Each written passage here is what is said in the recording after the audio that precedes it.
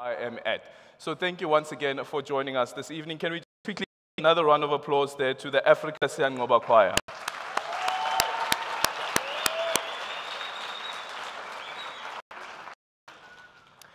This is uh, the 10th Matthew Goniwe lecture, memorial lecture that we'll be listening to a bit later on.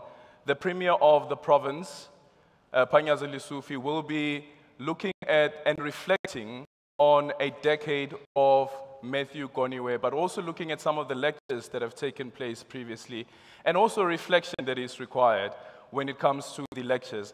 Like I said on Wednesday, is Matthew Goniwe was not just a science teacher, was not just a maths teacher, but he was also an activist.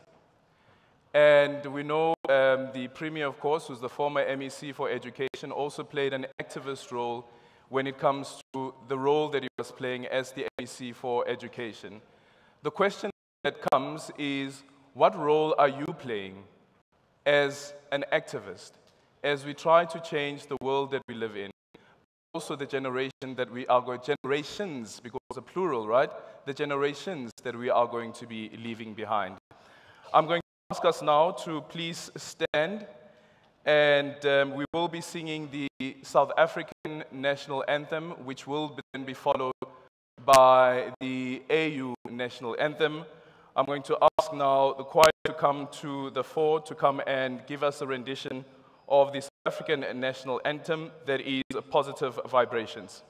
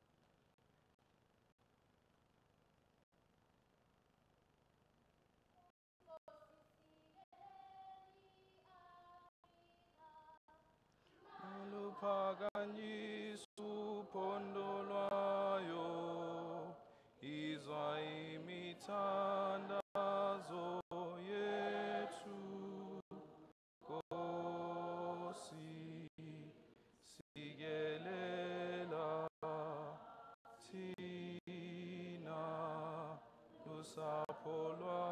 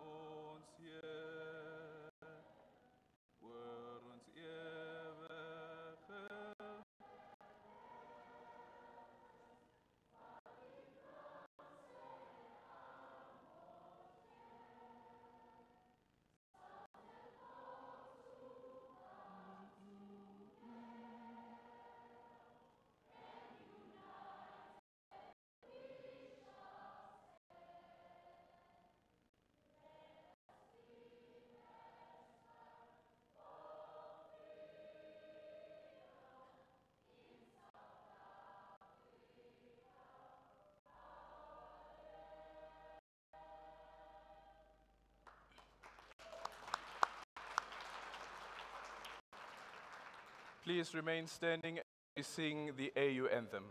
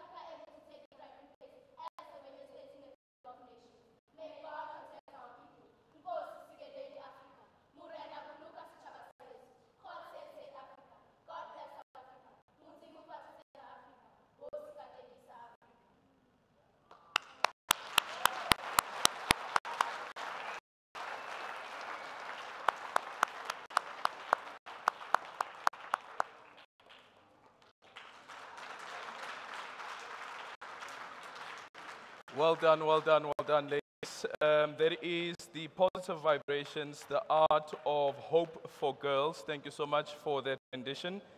And I just quickly want to make some acknowledgements before we start the program. Um, the Premier of Gauteng, Honorable Panyaza Lesufi, the MEC for Education, Honorable Matumani, the Matthew Goniwe School of Leadership and Governance Board of Directors, the Matthew Goniwe family and representatives of the Cradock community, the CEO of Sci-Bono, that is Professor Ntobi, Mr. A.B. Vidboy, the chairperson of the Sci-Bono Board of Directors and all of the Board of Directors of Sci-Bono. We also want to acknowledge the executive of the Gauteng City Region Academy and executive members serving in the Board of Management team. Also acknowledging this evening the MD of a Global Research Council for the Global Research Council, that is a Professor King Costa. We also acknowledge various research institutions, um, including members of the Global Research Council and the Center Emerging Research based at the University of Johannesburg, members of the private sector, including Vodacom as well as MTN. Let's give them a round of applause and thank you so much for joining us this evening. So as I was saying, that on, uh, on Wednesday, we had a breakfast business colloquium that was put together by the Matthew Goniwe um, School of Governance and Leadership, speaking about some of the important issues that relates to education. Today, we are going to further that conversation as we hear a bit later on from the executives of the, of, from the executives of the Matthew Goniwe School of Leadership, School of Governance, as well as Leadership. But we'll also be receiving some entertainment. And by the way, there is what we call the voice of God. You know, when you attend events and then there's just this voice that you don't know where this voice is coming from.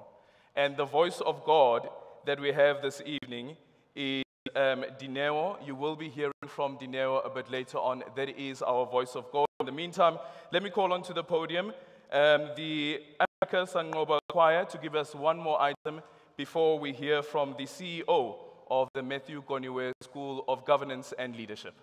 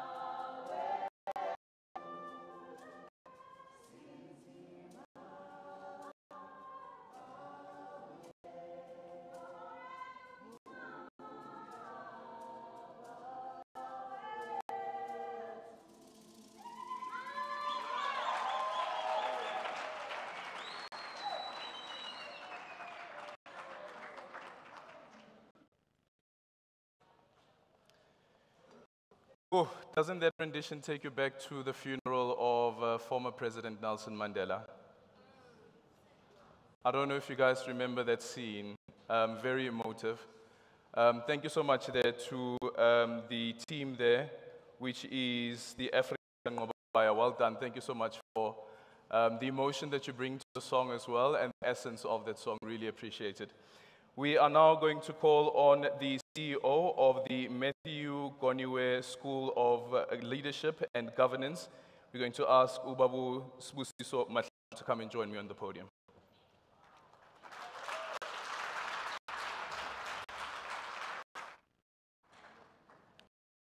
Director, good evening and thank you very much. Uh, greetings to our Premier, Honorable Panyaza Lesufi, uh, MC for Education in Gauteng, Mr. Matome Chiloane, HOD, the newly appointed HOD, Mr. Rufus Mutlana, who is the former holders. Uh, our keynote speaker, the first MC of Gauteng Education, Professor Mary Metcalf.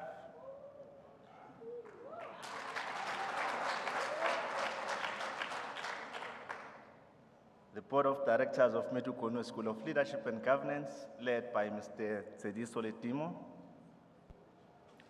The Goniwe family, led by Mr. Nyaniso Goniwe and the Cradock community. The Board of Sci-Bono, Science Discovery Center, led Mr. Vetboy.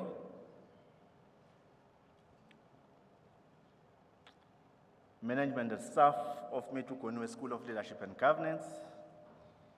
Also want to acknowledge the CEO of Sci-Bono, Professor Nsobi. We do appreciate your presence here.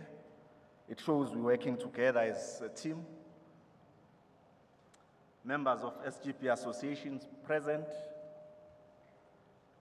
uh, leadership of GDE, uh, unions, distinguished, distinguished guests, uh, ladies and, and gentlemen. It is a privilege and honor to stand before you tonight and to officially open the 10th lecture uh, of the Matthew Goniwe School of Leadership and Governance. This year we're celebrating 21 years of existence, but due to unforeseen circumstances, we could not always hold the memorial lecture every year. And I wish to state uh, this upfront with thanks to you, Premier, as a chairman back then in 2007, 2008, you insisted that we need to honor the memory of Matthew Goniwe. And when you came back as an MC, you said you must hold an annual lecture. And I think we've kept uh, to what you instructed us to do. Uh, over the years, we've held, we've held these lectures, and the topics that we always, or the themes of the lectures, are always topical issues of the moment. The first was held in 2004, and the theme of the lecture or the title of the paper that was presented by the then uh, Director General of Education, Mr. Thamsanqa Mseleku, was the role of education in the transformation of South Africa. And I think we are back there given the theme today, which is transformational leadership in changing society. So there is a thread. And given the, the mandates that we've been given by the EU Premier and MEC afterwards, uh, in that lecture, the second paper was presented by the Executive Director of SEDA, which was looking at alternative, alternatives and complementaries uh, schooling to the existing tertiary education.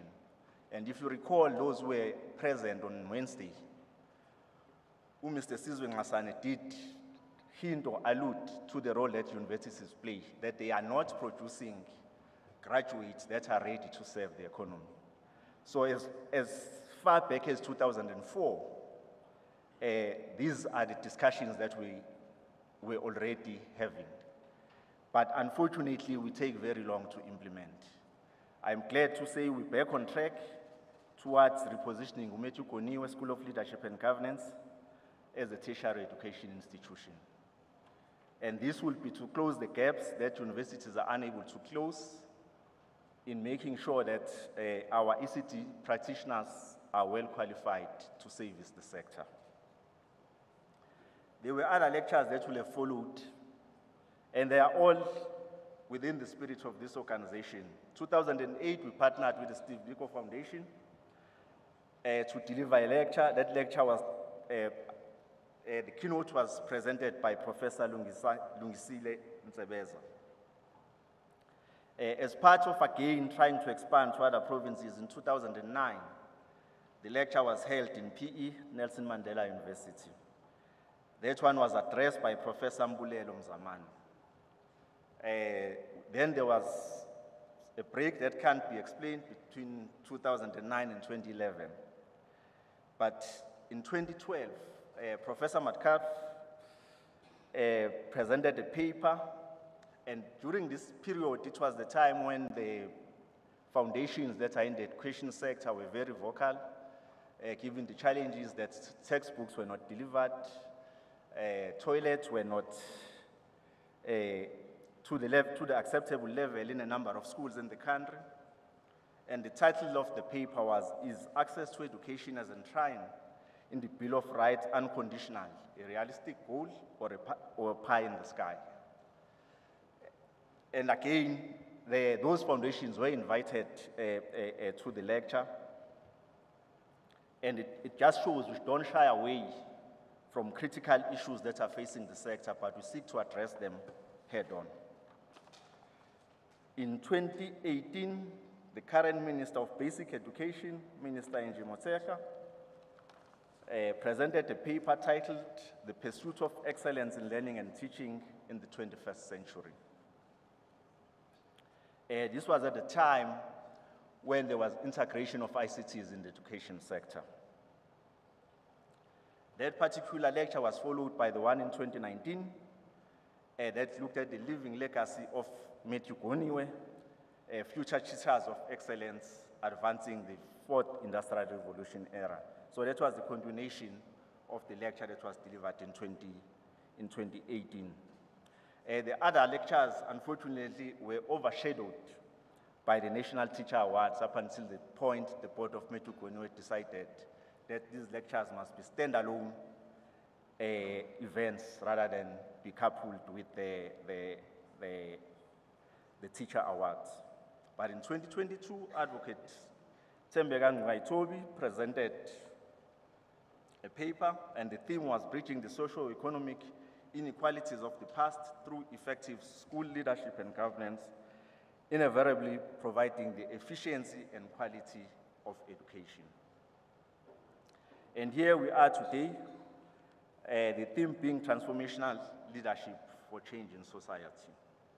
And I wish to declare this particular lecture open and enjoy the, the, the speakers. I think we've got a good lineup of speakers.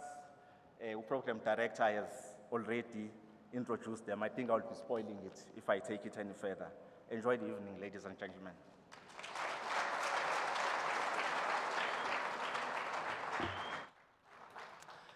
Thank you so much. That is uh, the CEO of the Matthew Goniwe School of Leadership and Governance. And by the way, I don't know if um, CEO you are downplaying it this time around, because on Wednesday, um, guests who were not at the breakfast colloquium is that the CEO was speaking about 21 years of existence of this particular institution.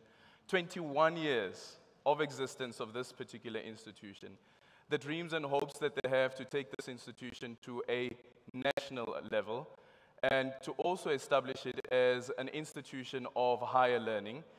And by the way, um, Premier and MEC, he also said that 1.5 million lives, 1.5 million lives have been touched by this particular organization. So, congratulations.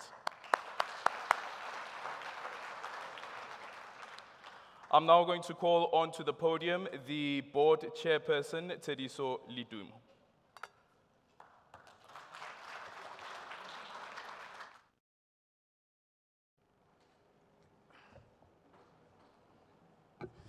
Thank you very much, uh, Program Director Aldrin, and good evening. Let me also follow suit from where the CEO left off and do the welcome. And as I do, let me extend my word of welcome to our Honorable Premier, Honorable Panyaza Lesufi, the MEC for Education, Honorable Matome Chiloane, the newly appointed Head of Department, Rufus Mutlana, the family of Goniwe and the Cradock delegation here present, we really do appreciate your coming, as you always do every year. The guest speaker is invited, who will be giving us the lecture later on. The board and members of the executive and staff of Matthew Goniwe School of Leadership and Governance, all stakeholders in education and business partners, all of you invited guests. It is my pleasure to really welcome all of you this evening to this lecture. This lecture is held annually as per the resolution of the board because we understand the magnitude of the task that we have to perform in providing the necessary oversight to the institution we not only understand the magnitude of ensuring that all those who undergo our training programs go back empowered, but we also understand that we carry the name of a giant and therefore have a responsibility to ensure that we keep his legacy living and sustainable. Chairperson, the institution has survived five terms of the democratic government under the leadership of five MECs. Two of them are here, uh, who once led the department with diligence, with vision, throughout the 21 years of existence the institution traversed a very complex route. As you would know, that in our country we have had to overhaul the curriculum, deal with the training backlog, particularly teachers were very poorly trained by the then regime. It was a huge task. We have also had to train school governing bodies because the democratic government had put a new dispensation. We've also had to train representative council of learners because a new dispensation had come to bear, destroying the old oppressive uh, prefect system. This institution has done this work for the past 21 days, navigating all the changes that came with it. And in that process, we had the teacher at the center whose responsibility is to mediate teaching and learning. And therefore, this institution as a training arm had to execute that, that task to ensure that the impact of the training that we do reaches the learner. And although we don't have scientific tools to prove the impact of our programs, MEC, I can boast that uh, the good results that we get every year as Gauteng, we are making a contribution as Matthew Goniwe School of Leadership and Governance. We truly believe that, uh, and I'm one of those vis-a-vis the percentage. You know, if you have 10 learners and they all pass, it's 100%. If you have 50 learners and you get 50%, 25 has passed. So who has made a contribution? So I always argue that uh, when we do analysis, we must be thorough and comprehensive. And, and that's why we post the results that we always get as Gauteng Department of Education. All we do is to provide oversight and ensure that our programs are de- delivered underpinned by our vision. And our vision is very clear that we want to be a leading training institute, not only in the country, but beyond. We do so by providing quality training programs, quality training programs, so that we're able to see the results that are envisaged by the Department of Education and Department of the day. The Education Transformation Project is a very complex one. For all the years, all the MECs have seen the need for the continued existence of Matthew Goniwe School of Leadership and Governance. And we really want to commend the staff that we have had over time, including the current staff under the leadership of Mr. Mahlangu, who over the years ensured that this institution becomes indispensable. It is seen as a necessary tool to empower teachers, which empowerment reaches our learners. We believe in excellence in teaching. We believe in growth and expansion. And currently, we are undergoing a very, very complex process, which we were given by the former MEC, uh, MEC Panyaza Lesufi, who said to us, You now must reposition yourselves. You now must turn yourselves into a higher education institution. That's not an easy task. We have started that work, uh, uh, Honorable Lesufi. We have made great strides in moving in that particular direction. We are at a point where we can confidently say it's just a matter of time before we go to the public and say, here is a repositioned institution with a particular focus on ECD. And we all know that uh, the migration of ECD from Department of Social Development to the Department of Education has placed a huge task on the Department of Education, and Matthew Goniwe School of Leadership and Governance will be leading in that particular space. So let me welcome all of you and hope that as we rise at the end of the lecture, we shall go back inspired by the attributes which Matthew Goniwe stood for and died for. And I'm sure, had he lived, he would be making a very impactful contribution towards. After that, we are going to hear from the family of um, Goniwe. We will be hearing from um, Mr. Nyaniso who will be, who will be representing the family. Let's take a look.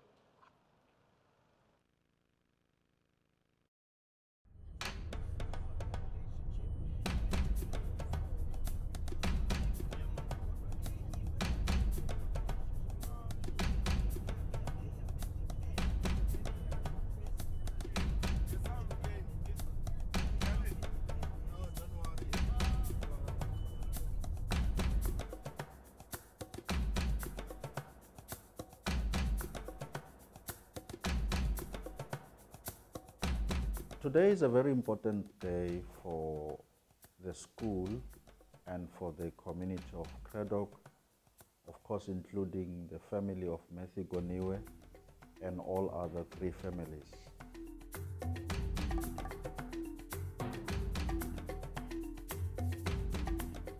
The visit is always prepared for and welcomed warmly by the community of Cradock the visit is done every year as one of the events leading up to the, the events leading up to the memorial lecture, which becomes the final uh, event for the year. We do this in memory of the contribution of Matthew Goniwe, who played a major role as a teacher, uh, building learners and making a major contribution to the liberation of the people of South Africa.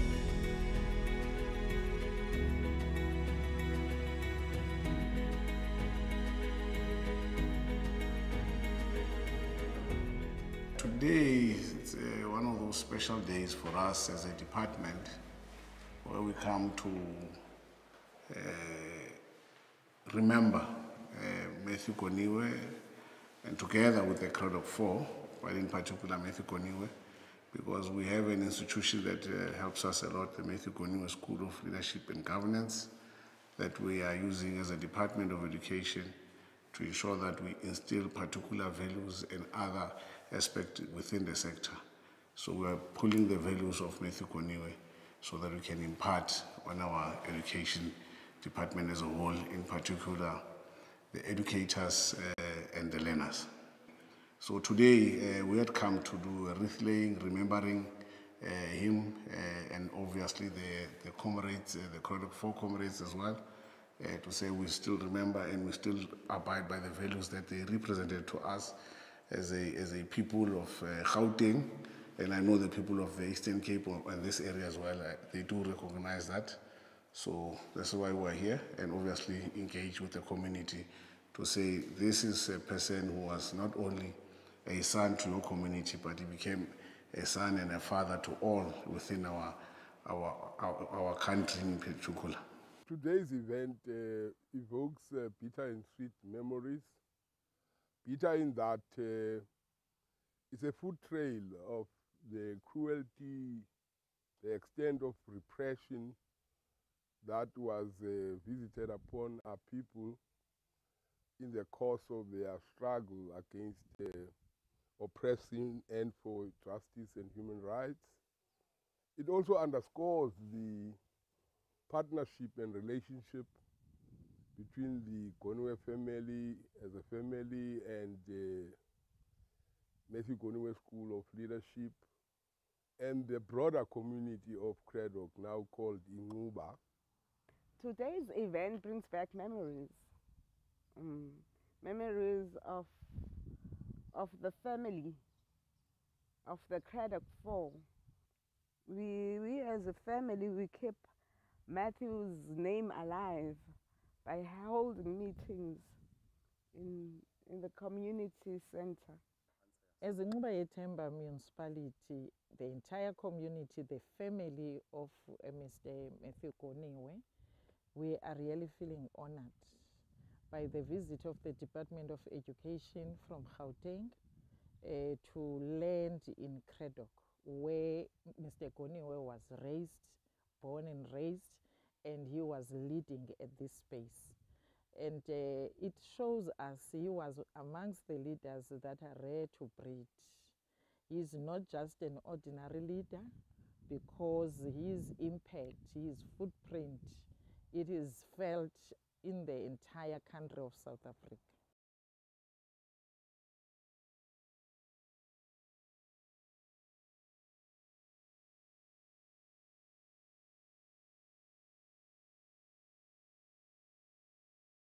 Footprint and his influence is felt across the country. With that said, I'm now going to call on a representative from the Goniwe family, Mr. Nyaniso Goniwe.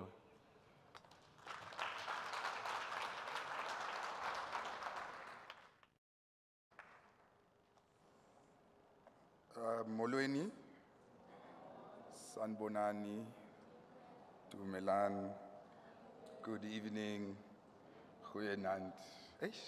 Eish, Afrikaans, um, no, it's not too shabby. Uh, I'm here today representing the Goniwe family, most importantly, Matthew. My name is Unyani Sokoniwe, the son of Matthew Goniwe. However, I'm not here alone. I'm accompanied by some other families, uh, namely my two sisters, Nobuzwe, Novuikazi, that are here, my cousin Bungiwe Goniwe, my older cousin brothers Patrick Goniwe, Mawonga Goniwe, Vuyo Koza, my niece and nephew Andani Goniwe, Aliko Kasmeni, uh, and a friend to the family, Ubongwani Mkondo. Uh, I'd like to begin by thanking the Matthew Goniwe School of Leadership and Governance by hosting this prosperous occasion. I would also like to thank the CEO, Sibusiso Mahlangu, Chairman of the Board, Teliso Ledimo, and the whole board of directors at large, thank you.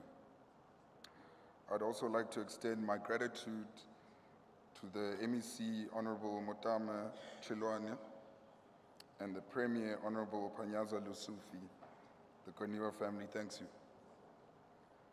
Um, I would just like to touch on uh, a brief background on Matthew. Uh, Matthew Goniwe was born on the 27th of December 1947 in Lingelihle Township on the outskirts of Cradock in Eastern Cape. His parents, David and Elizabeth, were farm laborers. He was the youngest of the eight children. He attended St. James Primary School and afterwards attended Sem Kali Secondary School, where he obtained his junior certificate. As a boy, he played rugby and took part in boxing for a club in the township. His love for music led him to join at an early age to the Cradock Male Voices under the leadership of his brother Ujakes. He matriculated at Healdtown, then studied to teacher's diploma at the University of Fort Hare. His majors were mathematics and science. It was whilst studying at Fort Hare that Matthew became involved in student politics. He returned to St. Semklali Secondary to teach mathematics and science, where he became a popular teacher. In 1972, he and another school teacher in Cradock, John Sekani, founded a school at Mqanduli in the Transkei, which eventually became known as Olomista High School. 1975, he married Unyameka, Koni, well, my mom. she later qualified to be a social worker in her own right. In 1983, the Cradock Youth Association, Cradoya, was launched with Matthew being elected as, as its first chairman and Fort Calata as its secretary. One of the first tasks they embarked upon was to take a stand against the unfair rental system being proposed by the Eastern Cape uh, Administration Board. This precipitated the, for, the, formation of the Civic Association in Lingelihle to deal with the crisis, and Matthew was elected as the chairperson. In 1983, he called a mass meeting to discuss how the community should respond to the high rents, and the Cradock Res Residents Association, Cradora, was formed. Cradora applied sufficient pressure and won the fight as the rents were lowered. After the launch of the United Democratic Front, UDF, on the 20th of August 1983, Cradora affiliated to the broad-based movement of organizations against apartheid. The security police, which, which removed his uh, influence from Cradock, pressured the Department of Education, the DET, on, the, on 1983 to transfer Matthew to school in Graaff-Reinet, as principal. Matthew refused the appointment. He applied to become an ordinary teacher at a school in Cradock, but he was turned down. The DET sent Matthew a telegram on the 29th of November 1983 informing him of his transfer to Graaff-Reinet from the 1st of January 1984. Cradoya meeting attended by over 2,000 people from the community refused to accept the transfer when Goniwe did not report for work in Khafu, the following year, the DET told him he had to be dismissed himself, and he was officially fired on the 27th of January 1984. This sparked a boycott on the 3rd of February, which spread throughout Cradock and then to the surrounding areas, lasting 15 months. The Cradora, Cradoya, UDF, and other organizations from PE and Uitenhage held meetings which supported the boycott.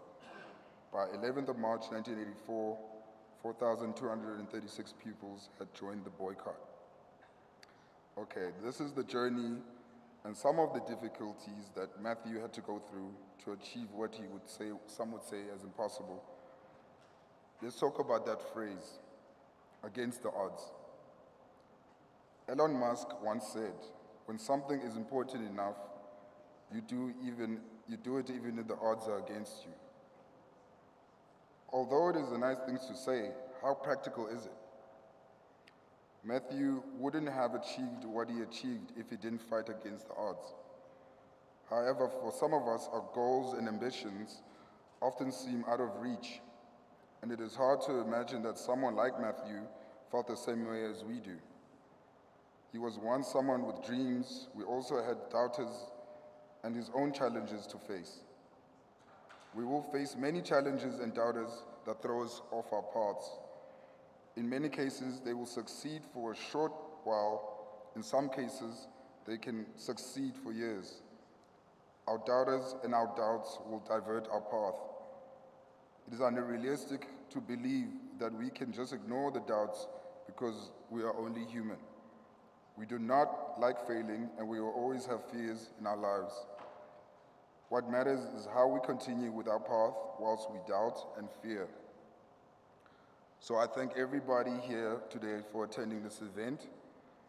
And in doing so, we honor Matthew's legacy, a legacy of fighting against all the odds and knowing we can also do the same. In this time of uncertainty, we've been through the coronavirus, economies are struggling, people lost their jobs, we're on the doorstep of the next, what, World War. So I implore you, now is the time for the world to come together and, like Matthew, fight against all the odds. Thank you.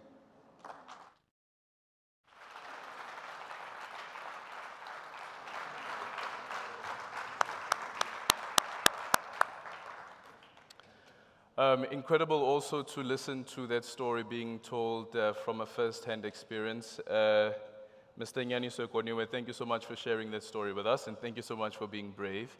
And I guess all of us this evening will be heeding the call as well. Um, how do we change our societies? Um, as we said earlier on, that is, is the 10th Matthew Goniwe Memorial Lecture. So we are going to look back at some of the previous lectures that have been had as we build up to the keynote address that will be delivered by the Premier of the province, Panyaza Lesufi. We are now going to back, go back to the memorial lecture that was delivered at the SABC, by the way, where I work, in uh, 2018. And let's look back and reflect on that.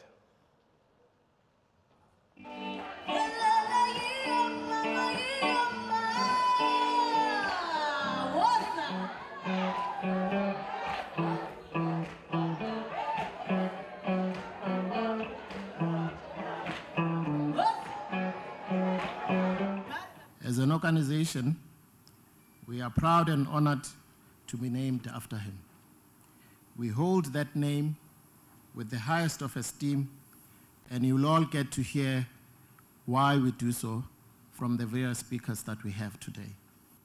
Who was Matthew Goniwe? And what did he represent?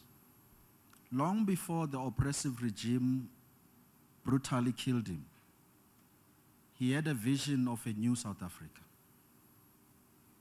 A South Africa where everybody will be free, a South Africa where human rights will be upheld. As an institute working closely with the Gauteng Department of Education, it's going to become an opportune moment for us to then say, are we delivering what we have set ourselves to deliver? We're very grateful to have been wit- to be witnesses uh, to the good work, legacy work that you're doing uh, MEC, and we look forward to, to, to a successful partnership with, you- with you in your quest to make sure that our history does not disappear. Thus, coming new South Africa of Matthew has arrived. But now, what do we do about his ideas? We want to declare, as we have declared in 1985, to say, Matthew Goniwe, there's no grave big enough to carry you, the giant of our revolution. That those that thought it will be the end when they assassinated you, they must rethink. And those that thought it was the end, they must know it was the beginning that those that took your life and the life of your comrades must know that they will never take your memory away from us. Goniwe is a generation of anti-apartheid activists that pay the ultimate price for our freedom that we enjoy today. He delivered education for liberation. And this explains why he was a brilliant teacher, because he understood that learners come from a community, hence, he was always a community leader.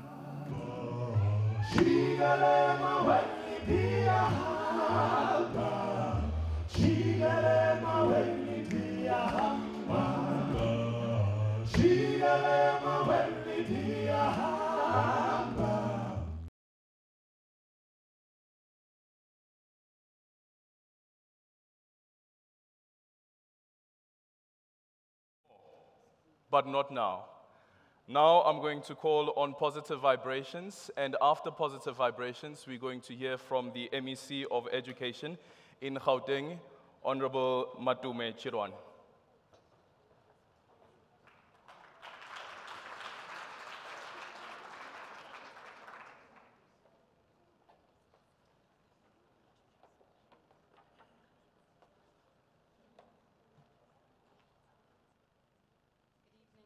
And gentlemen, and I welcome you here tonight, and I say to you, for all the protocols observed,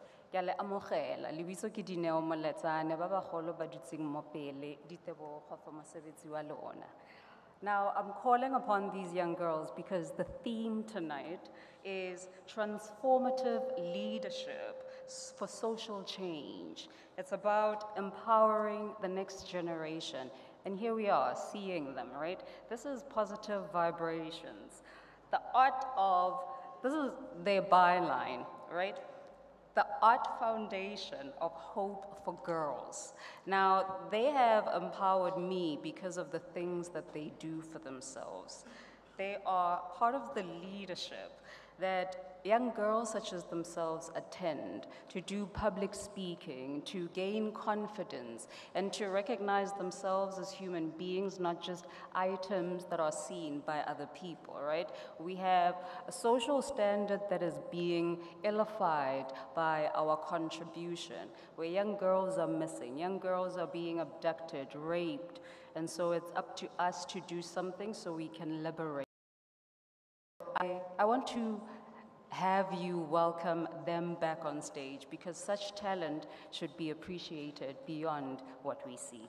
And then, just again, we're going to give one of them an opportunity to speak because there is a request post that.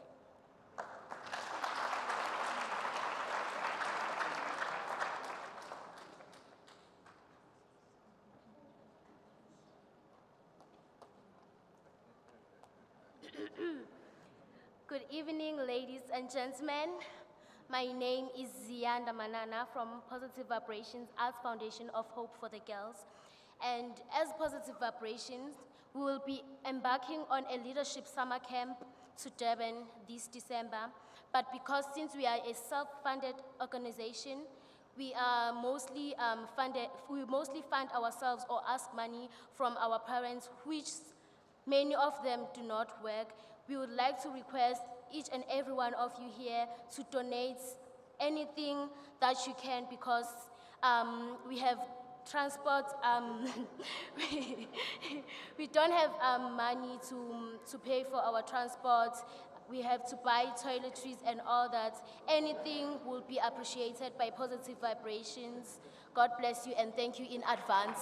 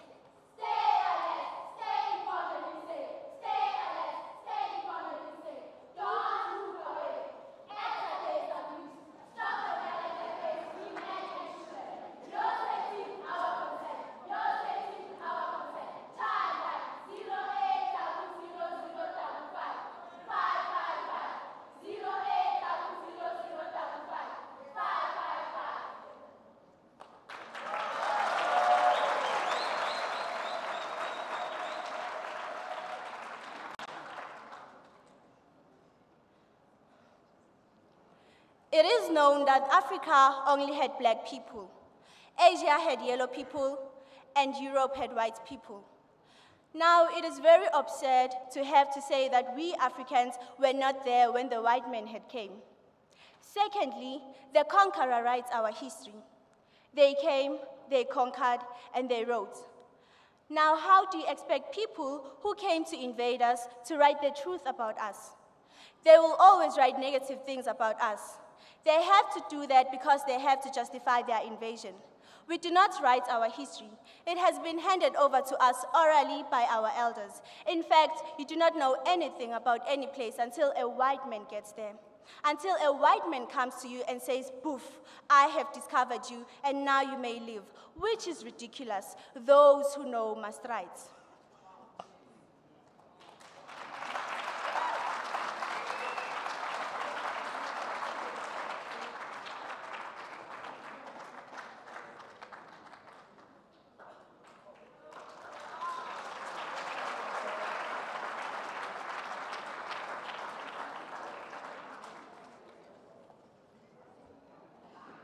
It's amazing to witness such talent, especially during such an occasion whereby a man that died, this is what he sacrificed for. The young minds that continue to show us what we are capable of. Sometimes we make it so much about color because we've been through so much, but because we're celebrating a man that stood for what you see me carrying today, right? A book, because it's knowledge. And when you write your thoughts and you share, you become that book that's celebrated. So may we continue to celebrate not only ourselves, but each other. Ere ntate Malome eh, Chiloane. He came up as an activist in Kosasa, in Tembisa, Ekurhuleni. He was later elected ANC Youth League chairperson in Gauteng in 2014.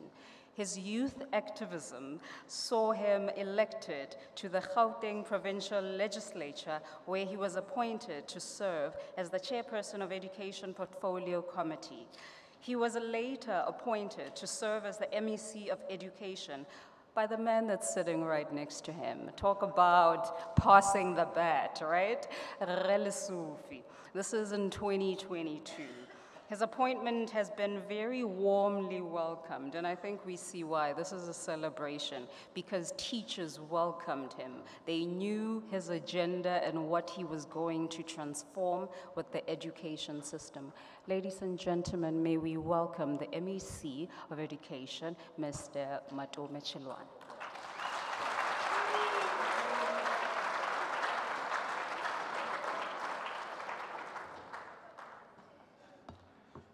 Thank you.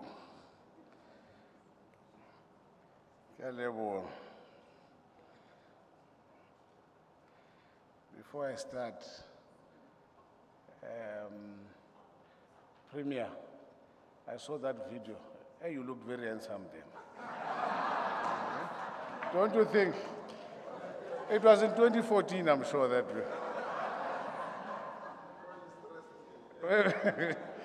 it was in 2014, I can assume. Uh, now we're a whole different uh, uh, premier. Uh, thank you so much. Um, let's give our children another round of applause.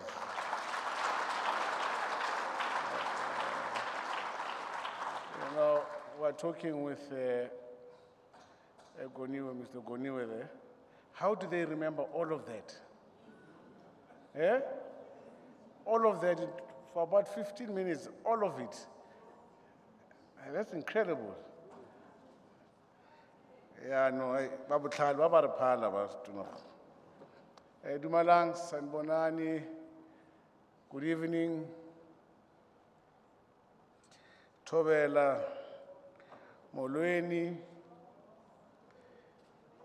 uh, Program Director, once more, greetings to you. Now that Program Director, we are calling you to our programs. We expect you to be nice.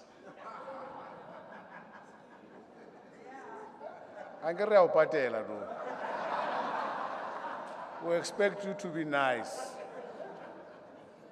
So, be nice. Our Premier of Gauteng, Mr. Panyaza Lesufi, the first MEC of Education, Professor Mary Metcalf. Uh, you know, I'm thinking when I'm looking at you both, and I'm thinking, which part should it be my future here? Academics or football? I must just choose between, because clearly either or uh, should be. Uh, so, Prof, thank you very much. Chairperson of uh, Chairperson and Board of Directors of Matthew Goniwe, Chairperson and Board of Directors of Sci-Bono, they are present here. The CEO of Matthew Goniwe and the CEO of Sci-Bono. Senior leadership of the department present here, led by the HOD.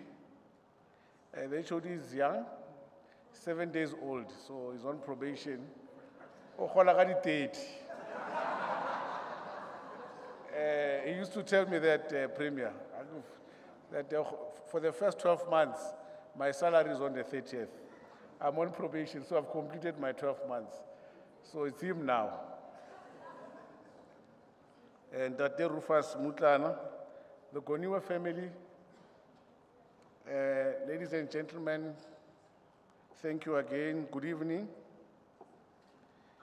As we gather here to commemorate this timeless, timeless legacy, it's exactly 90 days from what would have been Matthew Goniwe's uh, 76th, 76th birthday. We encounter a rare opportunity to reflect on the journey we have traversed and the journey that still lies ahead. The year 2023 has marked three significant milestones that are of particular relevance to the memory, life, and times of Matthew Goniwe. Firstly, 2023 marks, this, marks the 75th anniversary of a post-World War II economic order, the legacy of which has not been kind to the development prospects of the African continent and their people. Despite the visible progress we have made as a continent, we remain far from an Africa that is collectively prosperous and at peace with itself. Secondly, this year also marked the 60th anniversary of the Organization of African Unity and an, essential reminder to all Africans, those at home and in the diaspora, that Africa's path to complete economic independence and self-determination is far from complete.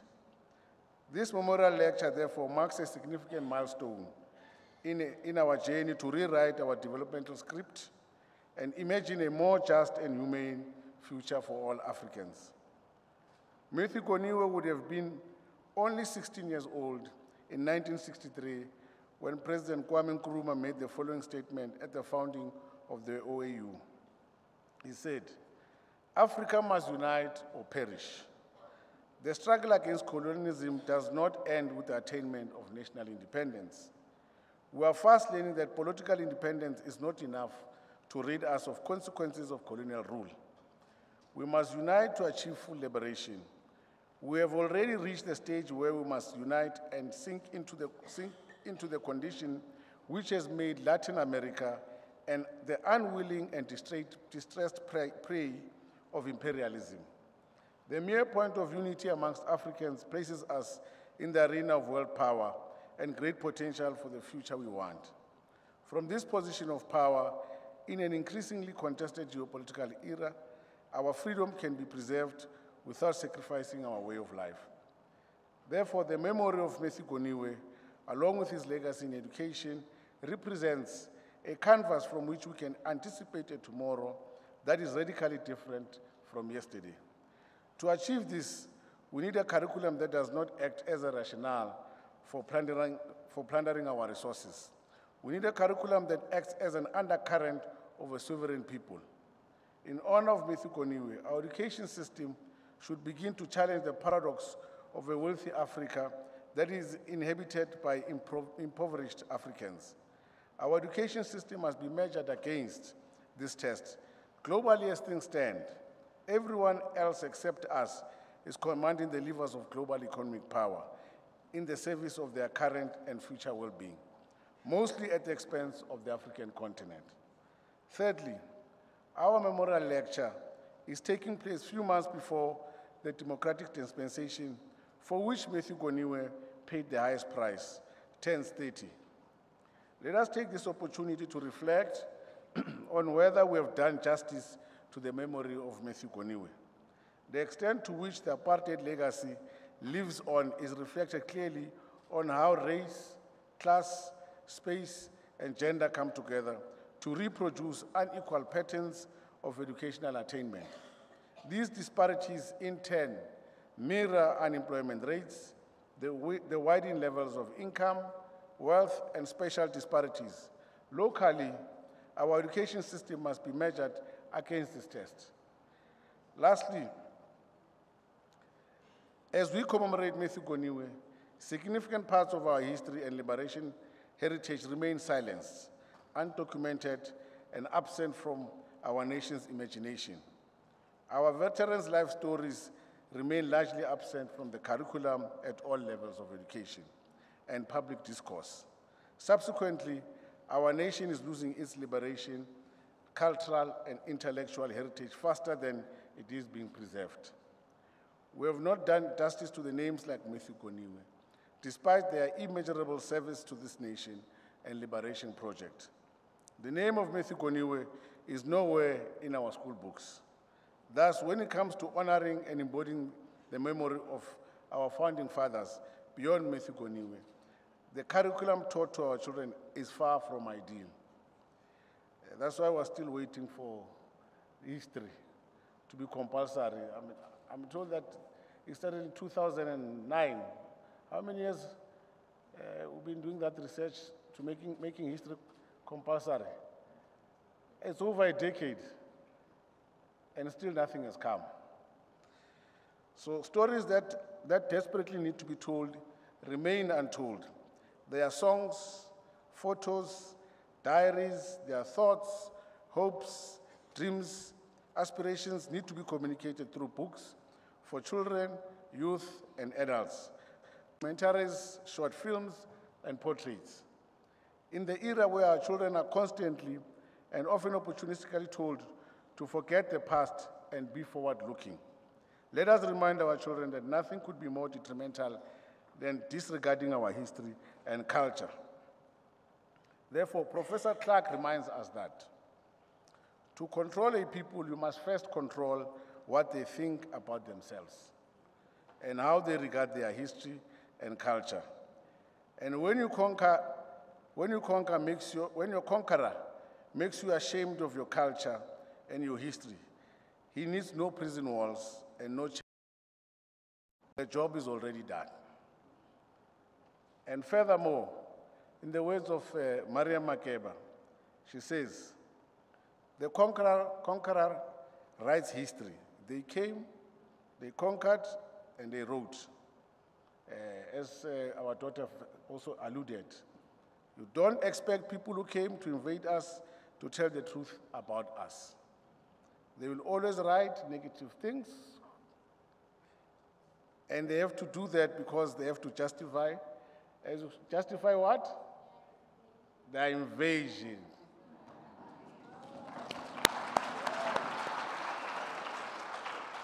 So Makeba's words are further supported by historian Robin Walker, who advances an argument, and I wish to repeat it here today, when he says, Those who conquer, colonize, and enslave you have to make your history disappear in order to make it seem like they conquered, colonized, and enslaved nobodies.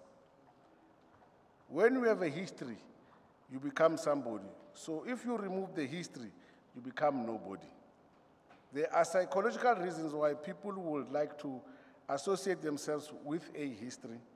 There is a link between what someone thinks of themselves and what someone thinks of their people, and what they think of their people and their history. So the erasure of our past has sought to reduce Africans to nobodies and to make us think less of ourselves. In reality, Africans have fought longer and harder against great, great odds for a more just and humane society.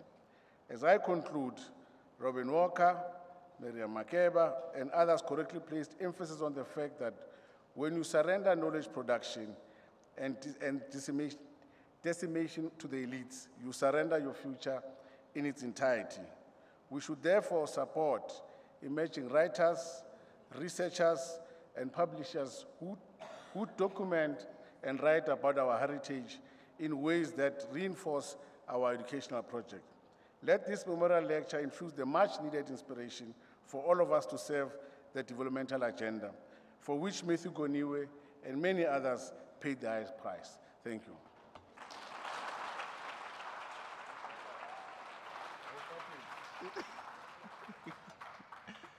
Well, so you heard the MEC saying that uh, they are paying me. uh, I, I can publicly declare that I cannot accede to the request of being nice. but um, MEC, um, Zianda made a call earlier on. They are going to a leadership um, excursion. Don't forget that, MEC. They requested money. Since well, the MEC pays people, you know? Since it's the MEC of payment. MEC, can I say with the money that you will be paying me, I'll, I'll donate 2,000.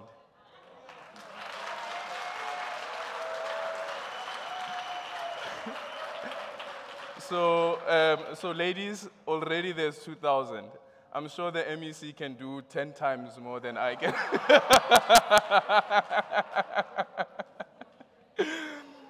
Um, so, as we said earlier on, that we continue to reflect on the previous lectures that we've had here.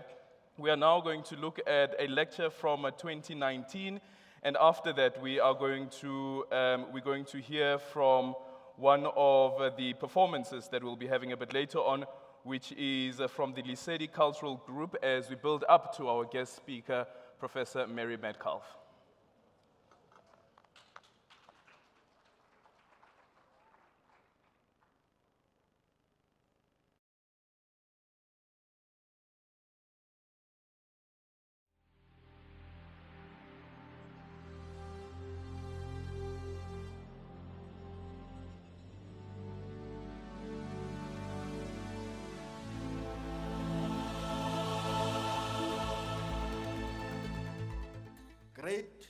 Visionaries, great revolutionaries who exercised the task of teaching an African child with diligence, with dedication and passion.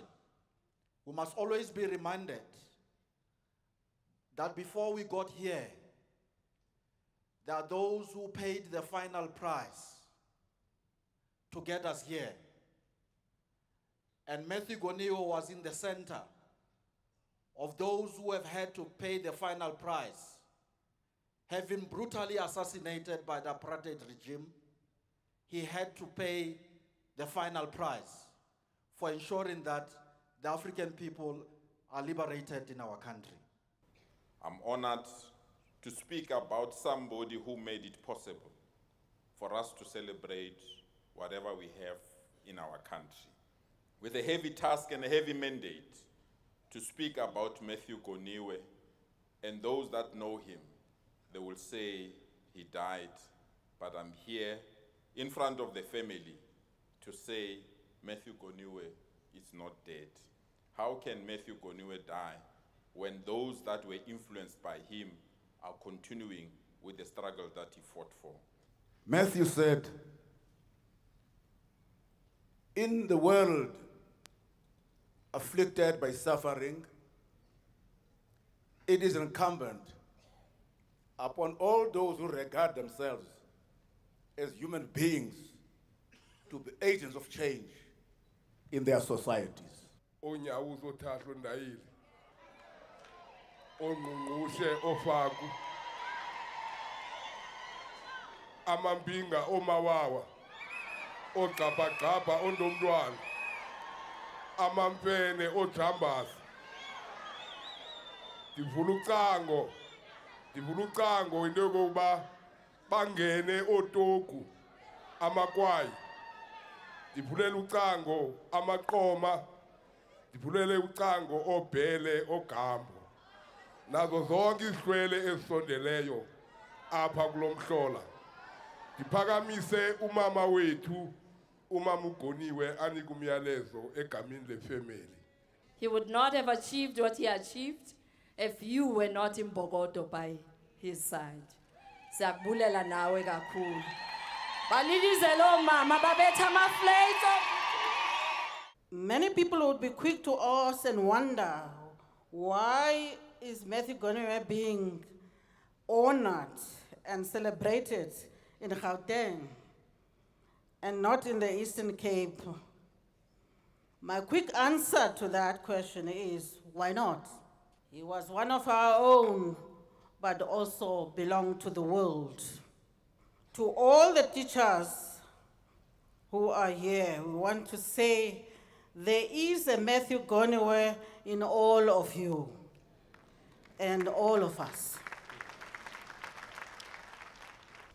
So we want to say to the board and all the people who are involved in uh, making the school, the Matthew Goniwe School, what it is today, to continue.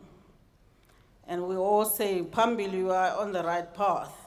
You have all our support. Matthew Goniwe will not be forgotten.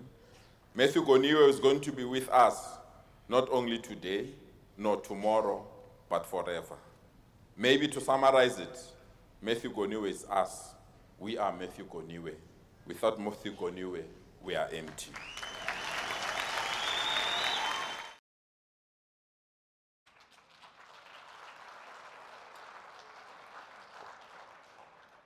I think it was Mariah Carey who sang that if you look inside your heart, you don't have to be, be afraid. There's a hero inside of you. And as you heard, we all have a Matthew Goniwe inside of us. So, how do you breathe life into it? How do you breathe life into the Matthew Goniwe that is inside of you? Let's welcome the Lisedi Cultural Group, and after that, our guest speaker, Mary Metcalf.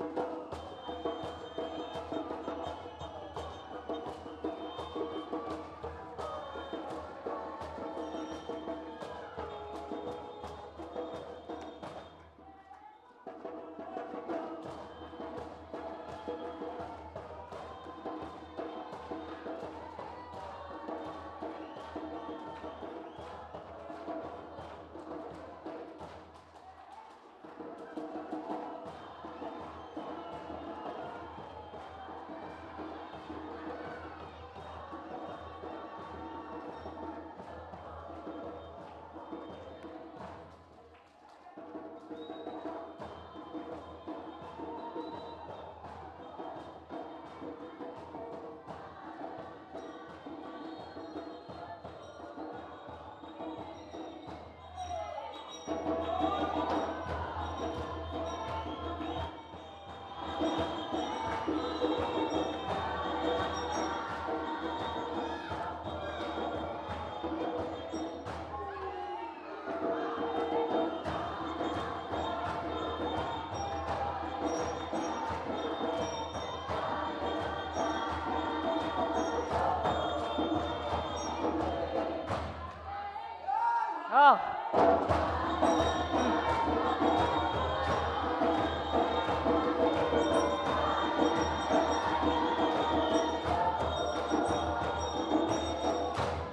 Tshwareng, tshwareng.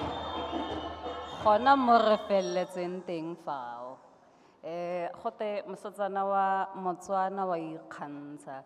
You don't speak of who you are, you display it. So, as much as I wanted to intro, I wanted you to see me. So, ke Motswana. I read something disturbing, but then I thought, let me share because it will be a thought. Targeted to be removed permanently from society as a matter of urgency. That's what they spoke of Mr. Matthew Goniwe. So now the thought is what is your legacy? What is it that you're doing to build up and showcase your capabilities, not only for self, because we understand you can do, that you are capable, but for people around you? Are you adding value?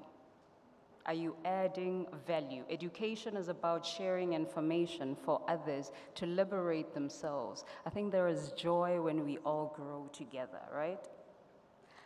So I don't know if this applies, but it seems like the shorter it is, maybe the person has done a lot of work. The longer the introduction, there's still a lot more work to be done.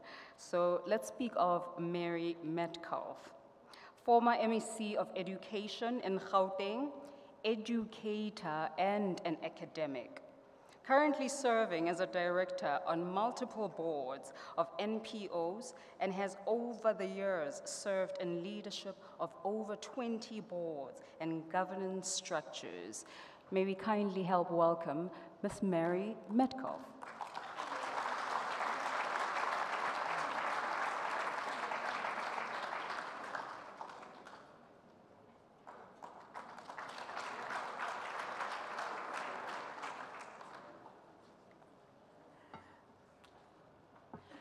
Thank you.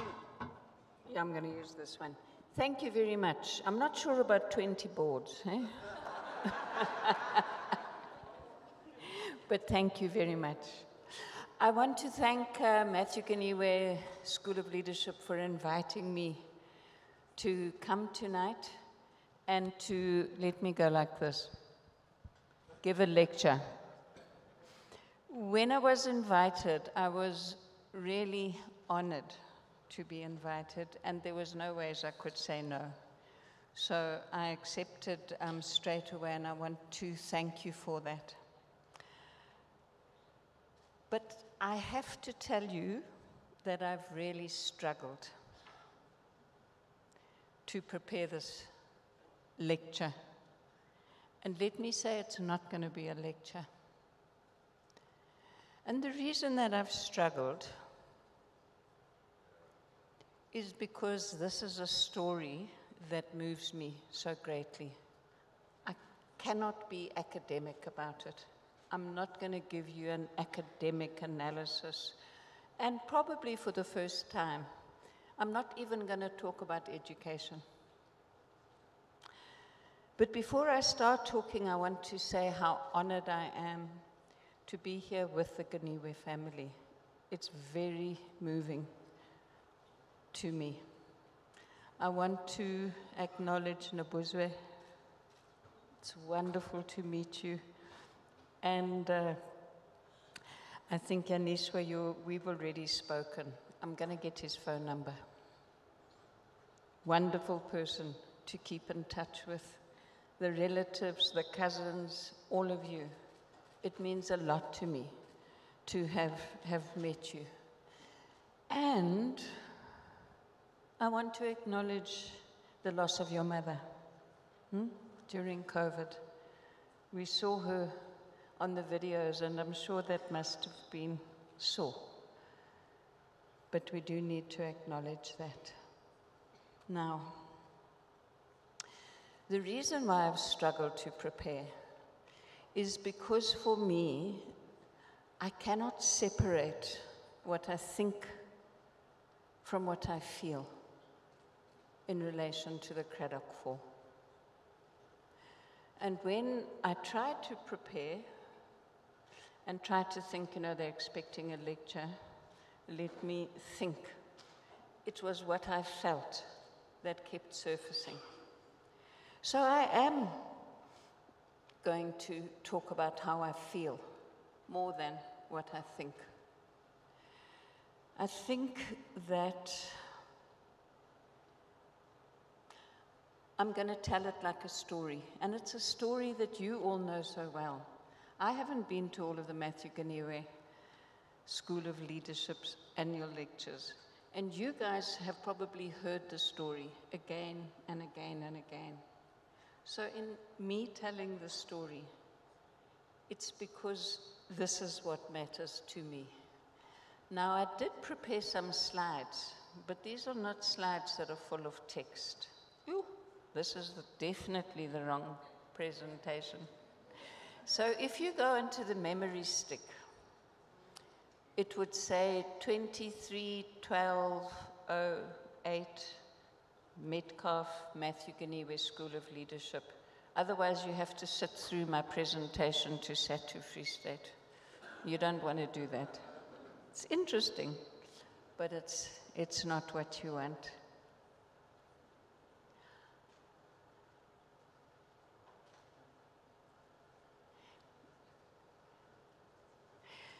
So, what I'm going to talk about today is what the Cradock Four mean to all of us. Um, I'm going to talk about the questions I ask myself as a consequence of the lives of the Cradock Four. And I can probably talk without slides, but I think it would be a pity. Oh, you know what? I think you guys gave me back the memory stick. I don't know what that is. Uh, Aldrin? you know what? I think I'm just going to yeah, grab my bag because I think. Lalise, what? Do you need the memory stick again? Yeah. No, the black Hey, Eldrin, I never thought I'd get you working for me. and for free at that. And for free. yeah. So there it is. It's on the. Thanks, Laliswa. Thank you. Double. So, uh, and I must just apologize for the lack of balance. That's just an old age issue. Okay, so while they look at the slides, I'm going to start telling the story. So for me, and we'll go through the slides very quickly once they've, they've opened the right presentation, is this is the Matthew Goniwe lecture. Last year, Advocate uh, Ngcukaitobi gave an amazing address. I, I can see people who were here last year saying it was fantastic. He is a fantastic South African, wonderful young South African. And as you'll see just now when the slides come, what he was challenging us to do is to not forget how Matthew died, to not forget why he died, and to understand more deeply what it means to us. That's what I understood from last year's lecture, from what I could glean in the reports that I could find. But I see people like the Premier and others saying, yeah, I remember. He was amazing, which he would have been.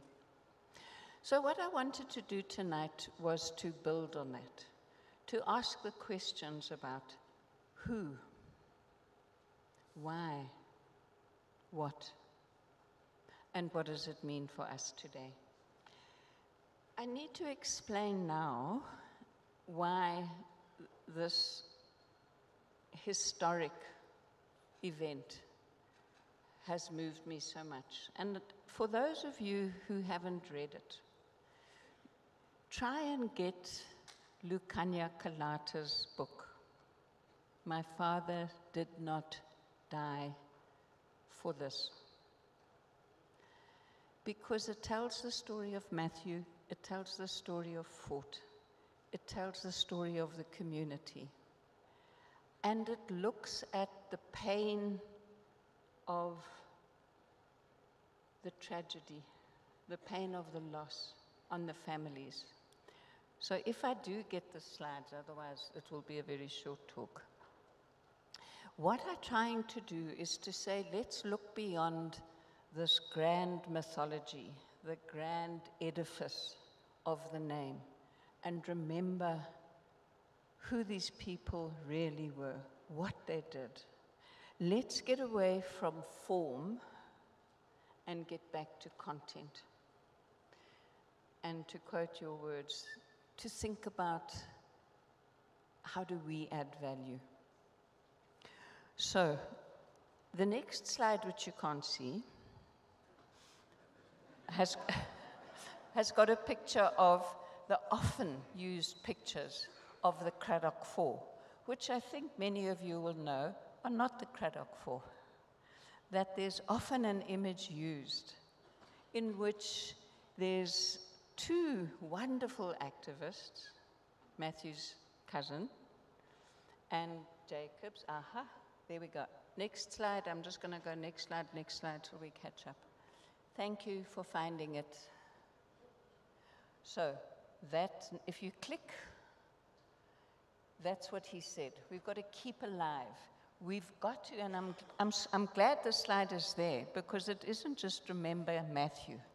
It is reminding us of how we should look after each other while we're still alive. And I found that incredible. So the next click is the My Father Died for This by Lukhanyo Calata and his wife Abigail. Next click. So what I want to argue is in remembering, we've also got to recommit. What is it that we're committing to? And we've got to remember the Cradock 4, if you move on, in terms of transformative leadership. I almost felt I was going to ask you a quiz. Who knows what Cradock is? Hmm? Far away, you know, you guys went down there in a combi, I think, or in a. But there we are. Now, these. Mbulelo Goniwe was not killed as part of the Cradock Four nor was Maduro Jacobs, both of them. But Fort and Matthew were critical leaders in the history of Cradock. And I want to talk now about Sicelo Mhlauli in the next slide. No, go back one. Thank you. No, back one. There we are. So you know, Sicelo Mhlauli was an old school friend.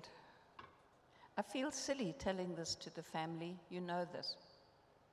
An old school friend of Matthew. He happened to be visiting Cradock in the school holidays while his wife was at a course in Port Elizabeth. He connected with Matthew and Matthew said, hey, We're going to Port Elizabeth. Come with us. You can see your wife. We'll go there. We'll come back. But Sicelo, whose name is often forgotten in telling the story, is also a teacher, also an activist, a principal. He was involved in the Oudtshoorn Youth Organization. He was part of structures that joined the U UDF. He survived an arson attack. But sometimes when you read the story, people say it was an accident that he was also one of the Cradock Four because he wasn't meant to be there. And we must remember that he was married, Nombuyiselo, that there's children Nsika Babawa. Can we find them in the web? Can we find their stories, who they are? Let's talk about Sparrow Mkhonto. So Sparrow Mkhonto left school, standard eight, went to work in the railways, became a unionist, became a leader in the unions. He was a senior office bearer in Cradora. He also attracted the attention of the security police. The security police harassed that family. They managed to get him fired. They managed to get the wife fired from her job. We cannot forget these stories. Now let's come to Fort Calata. Now, Fort was the youngest of the four who was killed. He was only 28. Can you think when you were 28? Hmm? Aldrin, it was recent, ne? Yeah? 28 is young. He was the youngest of the four. Because I've read that book and love it so much, I'm familiar with these names, with these pictures, with the family. But there were children, Dorothy Lukhanyo Tumani. Tumani was born, I think, six weeks after he died. There you go. So we acknowledge you, and I'm sorry I didn't meet you earlier. But you'll see pictures of yourself. So, I'm so happy you're here, and I'm going to give you a hug afterwards. All right.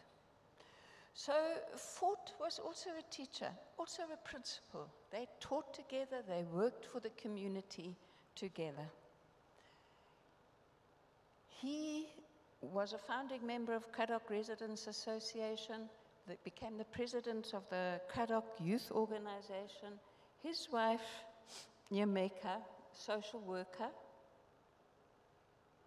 No, I'm this, yeah. His wife, Matthew, oh, I'm looking at the wrong thing. His wife, Nomonde, um, was also harassed terribly before his death and after his death. Now, if we move to the next slide, what I want to tell you, which you may know but you may not know, is I'm trying to show the depth of the political conviction and discipline of these families that we are honoring tonight, much more than even Matthew. So, Fort Calata's grandfather, your grand, great grandfather, he was the Secretary General of the ANC from 36 to 49. He played that incredible role at a very important time. He was a choir master. He raised money for the ANC with this wonderful choir going around. What's more, and the next slide, he was one of the treason trialists. So, what we have is this icon, this massive man in our history, Matthew Goniwe, but embedded in a community of people with depth, with commitment, who together contributed so much and who together provided leadership, were harassed, and this was not just a quick killing. It was the culmination of real pain. It was the culmination of people making massive sacrifices over many years. So there's James Calata, and the next slide, some pictures of your dad, of Fort. Just after initiation, you'll recognize these pictures because you know them in the book. Young man, a young man in a band. Next slide, where are we now? Yeah, yeah, the wedding photo. I always find it a bit puzzling because some photos on the web have a different photo in a white dress, but your brother's book has this as the wedding picture. What I can tell, and in a way I would love you to stand up and tell the story. Such a loving, loving, loving marriage. A man who was a political leader, a teacher, but also so utterly committed to his family. If we move on to the next slide, there we go, the, the eldest one fought the family together. The family man all of the time. So, what I want us to note is these were remarkable men. They were remarkable men who spent all their working life working for the community, daily, weekly, being a teacher, being a principal, being a community leader with such dedication, and remarkable woman. Can we not forget that? The remarkable woman. And of course, here there's two photos that I've got to help you tell the story Nomonde and Nyameka. Nomonde, I think, at the TRC, and Nyameka in 1988. Now, I've got so much to say about Matthew. Next slide. But firstly, I'm scared of Eldrin. And secondly, people have spoken about Matthew. You know that story so well. But there are some things that I want to say about Matthew that I wasn't aware of. Did you know that his brother Jacques was killed by the Rhodesian security forces in the Wankie Sipolilo battles? When Matthew was 21, his older brother died in that war in 1968. So let's unravel some of the suffering and courage, commitment, and discipline. When we talk, stay on this slide for a bit now. When we talk about Matthew as a teacher, and I'm sure the stories I've read about Matthew are probably true of others as well. But Matthew's passion for his children meant that he didn't just greet them at the gate, tell them to go to class. He visited in the family, understood the levels of poverty, raised money for children to eat. His work as an educator never was compromised for the political work. He was absolutely committed to both because he loved. He loved our people. He loved the children. And he knew that education was critical for them to progress. He, not long before he was killed, was busy negotiating a return to school. Him and Fort together are famous for their discipline and working to make sure. He is a giant of a man. If we go to the next slide, he became the leader of Cradora he became the rural organizer for the UDF. He was under surveillance by the security police because they suspected what we later knew is that, in fact, in addition to the remarkable levels of organization that he created in Cradock, it was like a model level of, organization for any township in the country. They called it the G plan. Remember the M plan? Uh huh, Mandela plan. This was the G plan. So Matthew organized in a disciplined way while he taught, while he cared for his children, while he cared for his family. And what we subsequently learned he was also the chairman of the ANC's Underground Military Working Committee. And as he established structures, this lion of a man, as he was able to put more and more structures in place, he was eventually reporting directly to Chris Hani. Now, why is this important? It's important because this man was a problem. Hmm? And what I find interesting in reading the history is that even within the apartheid establishment, there were not agreements.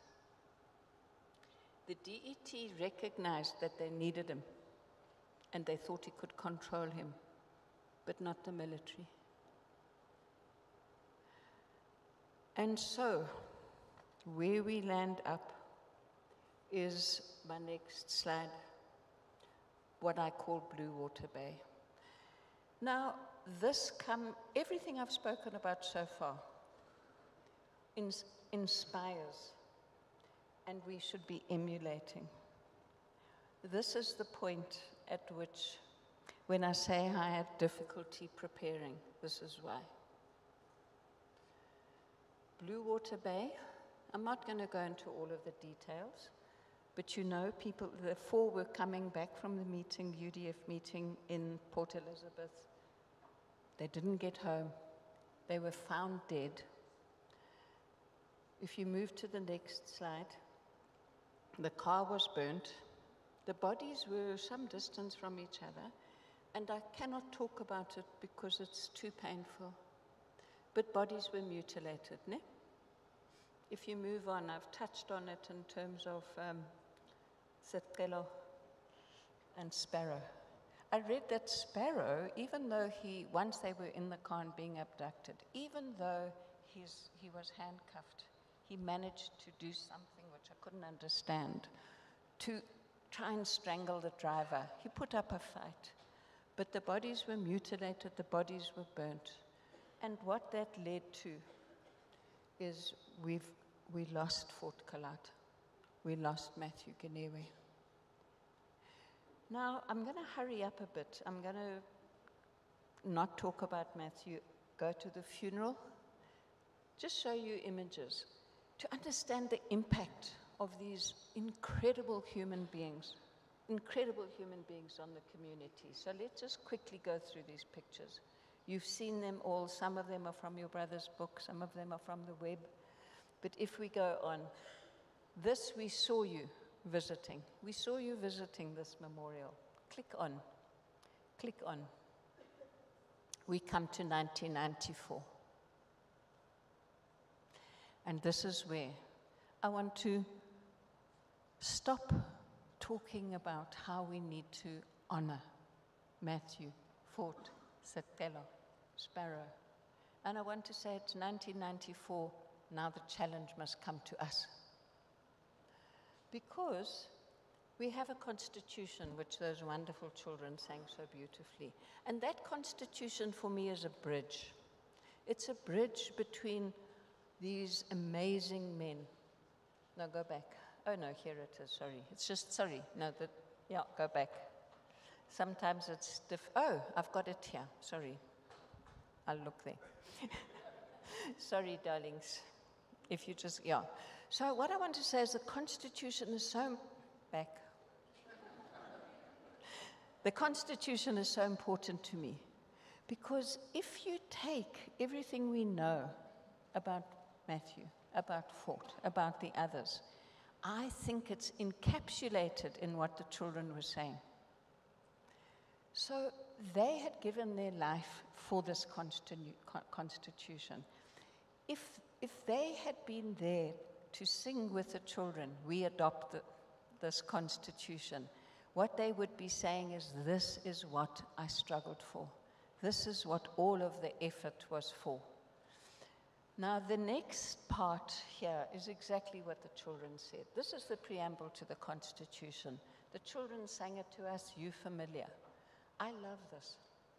But if we move on, and I'm hurrying because I'm watching Seren, is that all of these activists, and we talk about activists in Limpopo, Eastern Cape, KZN, all over the country, they all provided the leadership that gave us this constitution this const. they all provided, no, go back. Yeah. But you, yeah, stay there, stay there, please. Why that's important for me is they brought us there, but it's our job to take it forward. That's the lesson. If I stopped there, if you shouted at me, Eldrin, I could stop there, but I don't want to. Because they gave us that constitution, it's our job to take it forward. So click into the next slide, and I'm not going to read that slide, you've already seen it. These are all of the rights in the constitution, the children did it beautifully. I would love to say to the families, would, this, would they be proud of this? Are these the rights that they pushed for? And I think you're going to tell me yes. But now let's move on. Because from here, we have got responsibilities to improve the quality of life. It's not enough to just say Matthew was wonderful, let's celebrate him. Move on. Next slide. And now I'm going to talk about um, Fort's book. Is there's a monument, and I think you guys might have visited it. So the monument looks glorious. And I found a lovely line from a poem about a monument being uh, a bridge between earth and what earth cannot touch. So we've got these wonderful concrete, lovely pillars. But what happened when Lukhanyo went there? Let's look. I think it's here. Click. No, no. Before we go there, 1994 Constitution, and now we have this wonderful monument. But stay on that slide. The problem with moving from vision and ideals into a future that we've imagined and fought for is that we still live with the legacy of the realities of the pains of the past. Life doesn't change because we've got a constitution. There are real material differences and challenges in our life. There are real material damages to our thinking, in our behaviors, and our imagination. So, in moving from the Constitution into this new world, the past is with us, the imperfections are with us, inequality is with us, sexism is with us, racism are with us, and there's new challenges for us wherever we are, in whatever leadership role. These new corrosive influences, materialism, what we drive, what we wear, notions of leadership in terms of a hierarchy of leadership, and because I'm in authority, I'm an authority, I'm not a servant leader. Power and status, all of that becomes seductive. And we forget that this new world that we're creating is built on the characters and principles and values of men who did not have that power that is material, that is positional, and in which they kept close to the people, in touch with the families. So let's carry on. I do get even more upset, you'll see. So Next slide. I don't know, maybe she likes that one. because where I want to go from here is to the TRC. You know, the TRC was meant to be something that was not retributive, but restorative. But I want to say today, and I am in the presence of people who know better, the TRC process failed the families. Can I say so? The TRC, thank you. If you click onto the next slide, I think maybe, yeah, is that there was not a full confession. There was a sweetie pie kind of, I'm terribly sorry, I watched an American movie, I now understand racism. So the widows opposed amnesty. And they were not given amnesty. But the betrayal became deep because evidence came about the extent to which the security forces were complicit the extent to which there were clear instructions, the extent to which there was vicious, not just, this isn't an assassination, it was causing real pain and suffering. And so, I don't know where that comes from, but if you move on to, oh yeah. Sorry, these slides aren't working, but they work for me. Now let's just pause there. That's a picture of Vusi Pikoli. He's smiling. He's not smiling because he's pleased about anything. But on a video, he is saying, We were proceeding with prosecution of these murderers, and we were given a political instruction to not proceed. That's not a secret. If you do your research, it's there. And I say that's a betrayal.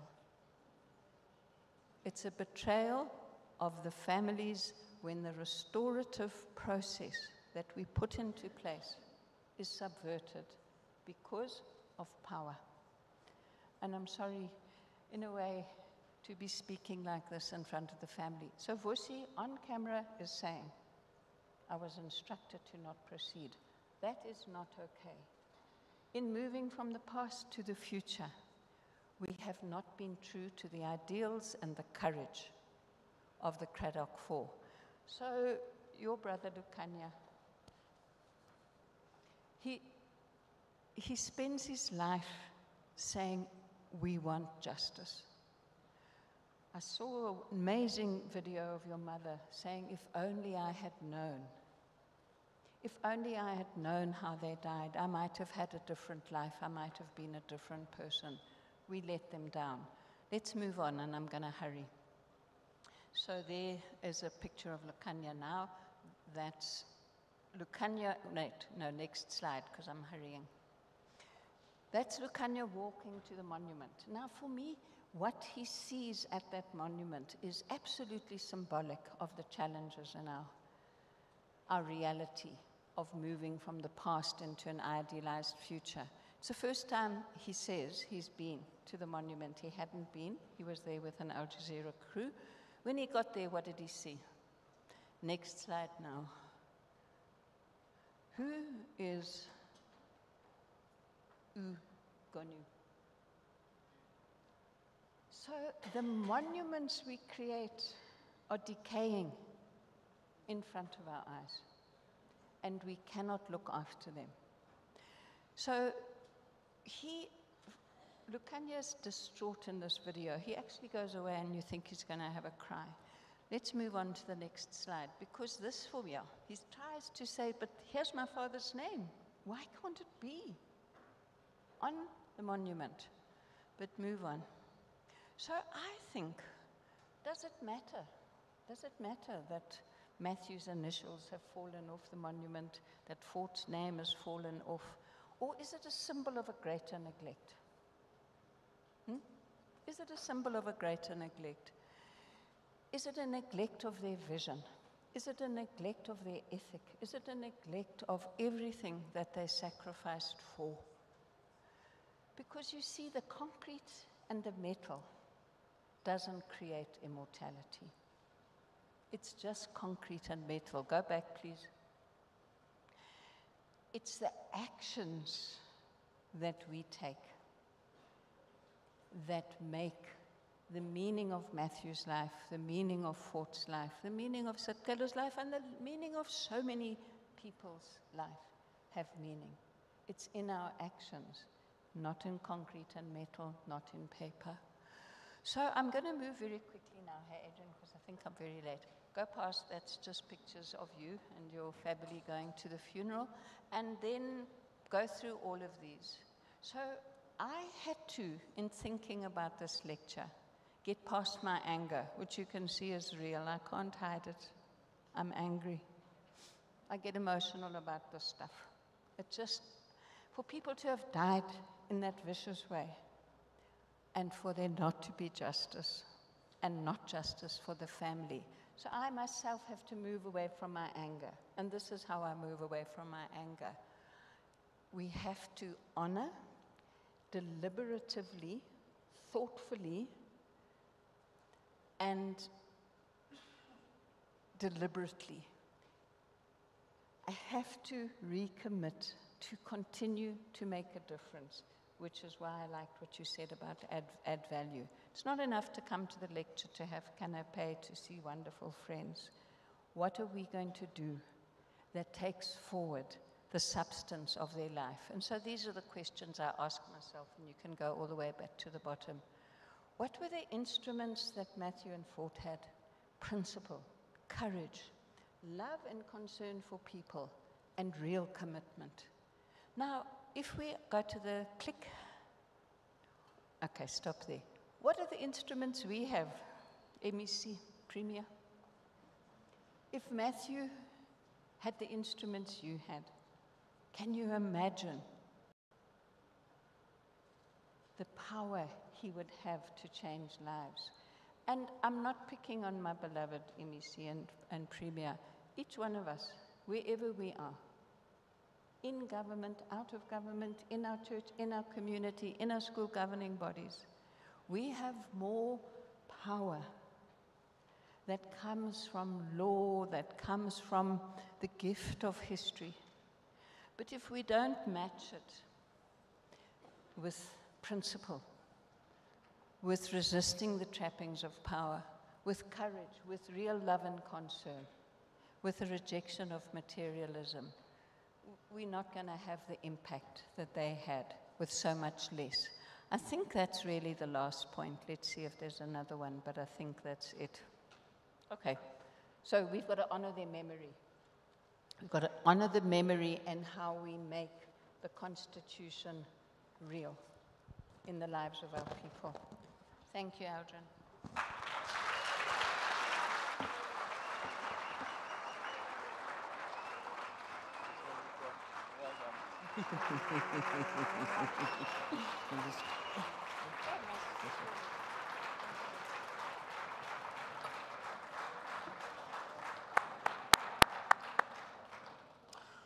What an incredible storyteller, yeah? And also using um, the element of visuals that really bring the story back home and uh, being touched by the research um, that uh, Professor Mary Cal- Metcalf has made. And uh, Prof speaks about um, the betrayal.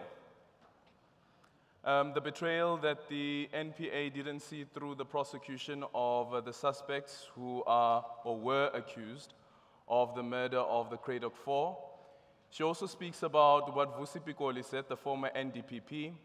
And if you look at the Supreme Court of Appeal case, it is in that court judgment as well where it reflects on what the NPA said they were told by then the Mbeki administration, not to go ahead with the prosecutions.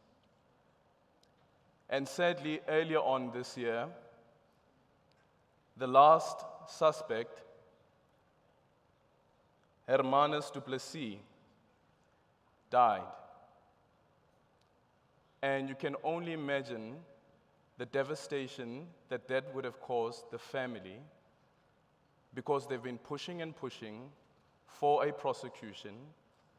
The NPA said that they were then committed to go ahead with the prosecution. But later on, early this year, in June, they were told, unfortunately, it's not going to happen because there's no one left to prosecute. But, like the Premier said, in the clip that was played earlier on, when he spoke about the life of Matthew Goniwe, even though they were murdered in 1985, their spirit continued to live on.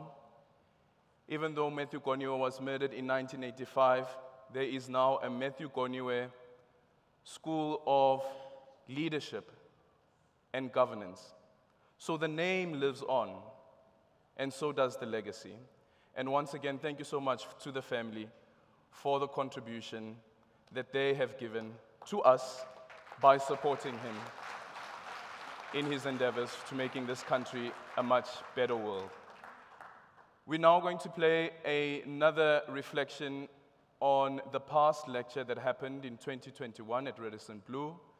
And then after that, we're going to have a performance as we build up to the address by the Premier of the province, Panyaza Lesufi.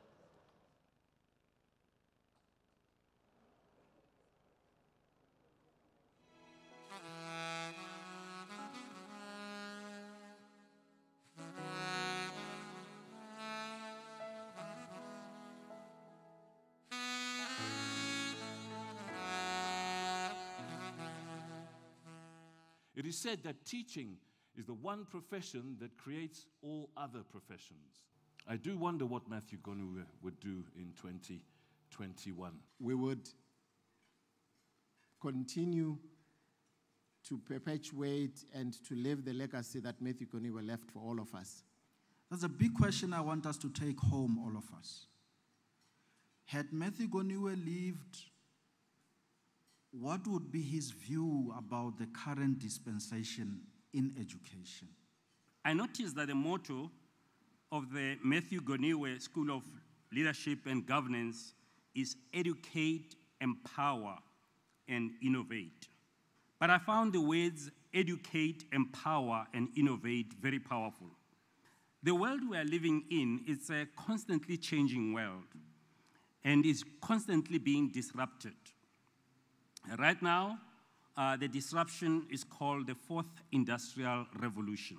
The fourth industrial revolution is very transformative. It's like getting into a wormhole where we really do not know what the outcome is going to look like.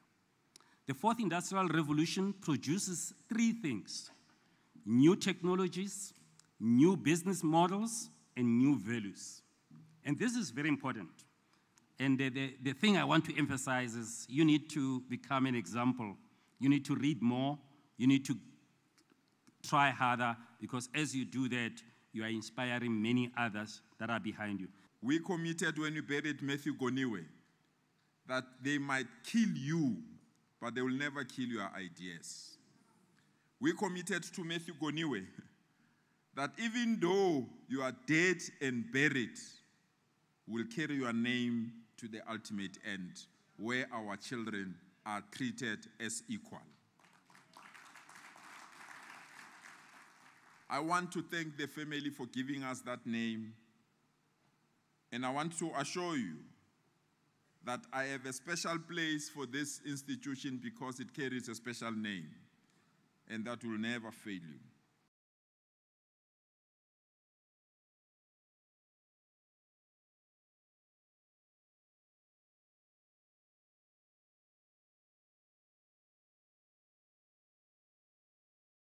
And gentlemen, we understand that time is of the essence and uh, that Re Lesufi has been here enjoying each and every person that has come on stage, sharing their knowledge, the experiences of what we've enjoyed in terms of dance and just expression from the, from the young ladies, right? And so Kenale Lofa from the four, the MEC and the Premier, for, from the young girls. They have written down their details um, just for that contribution that we spoke of.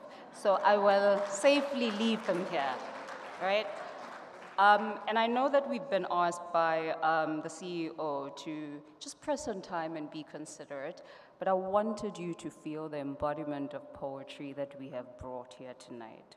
Um, her name is Kush Mahlega. She is a writer, a poet, and just an embodiment of art. May we kindly welcome her on stage. She will be doing one piece just so I can extend on introducing this man. Like I said earlier, the longer the introduction, the more work. So maybe we're looking at a president's chair, I'm not sure.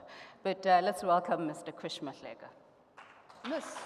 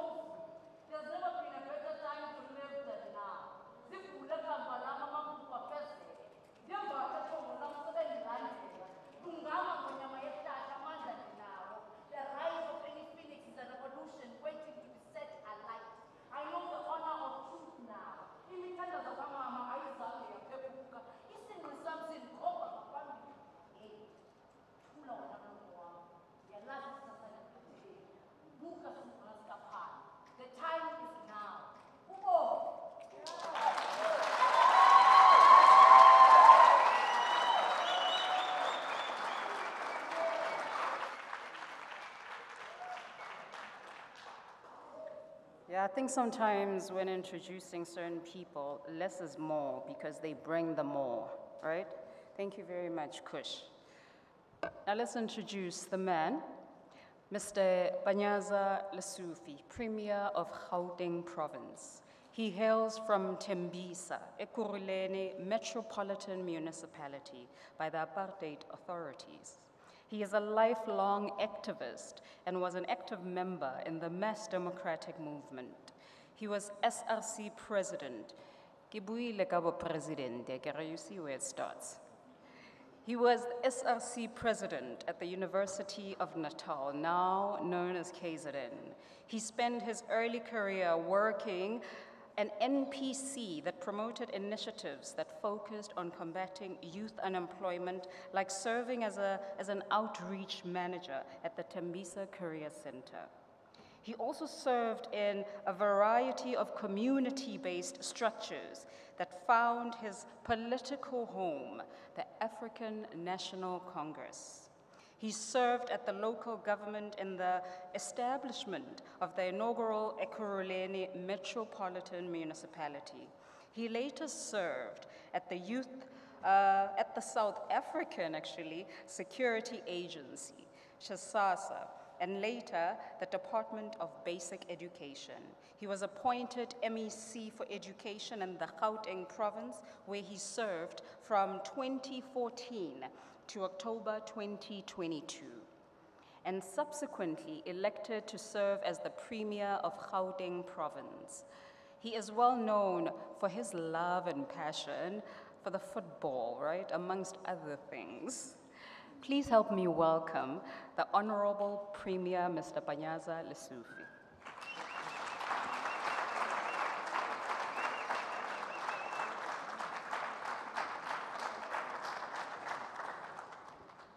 Uh, thank you so much, program directors. Let me take this opportunity to thank you.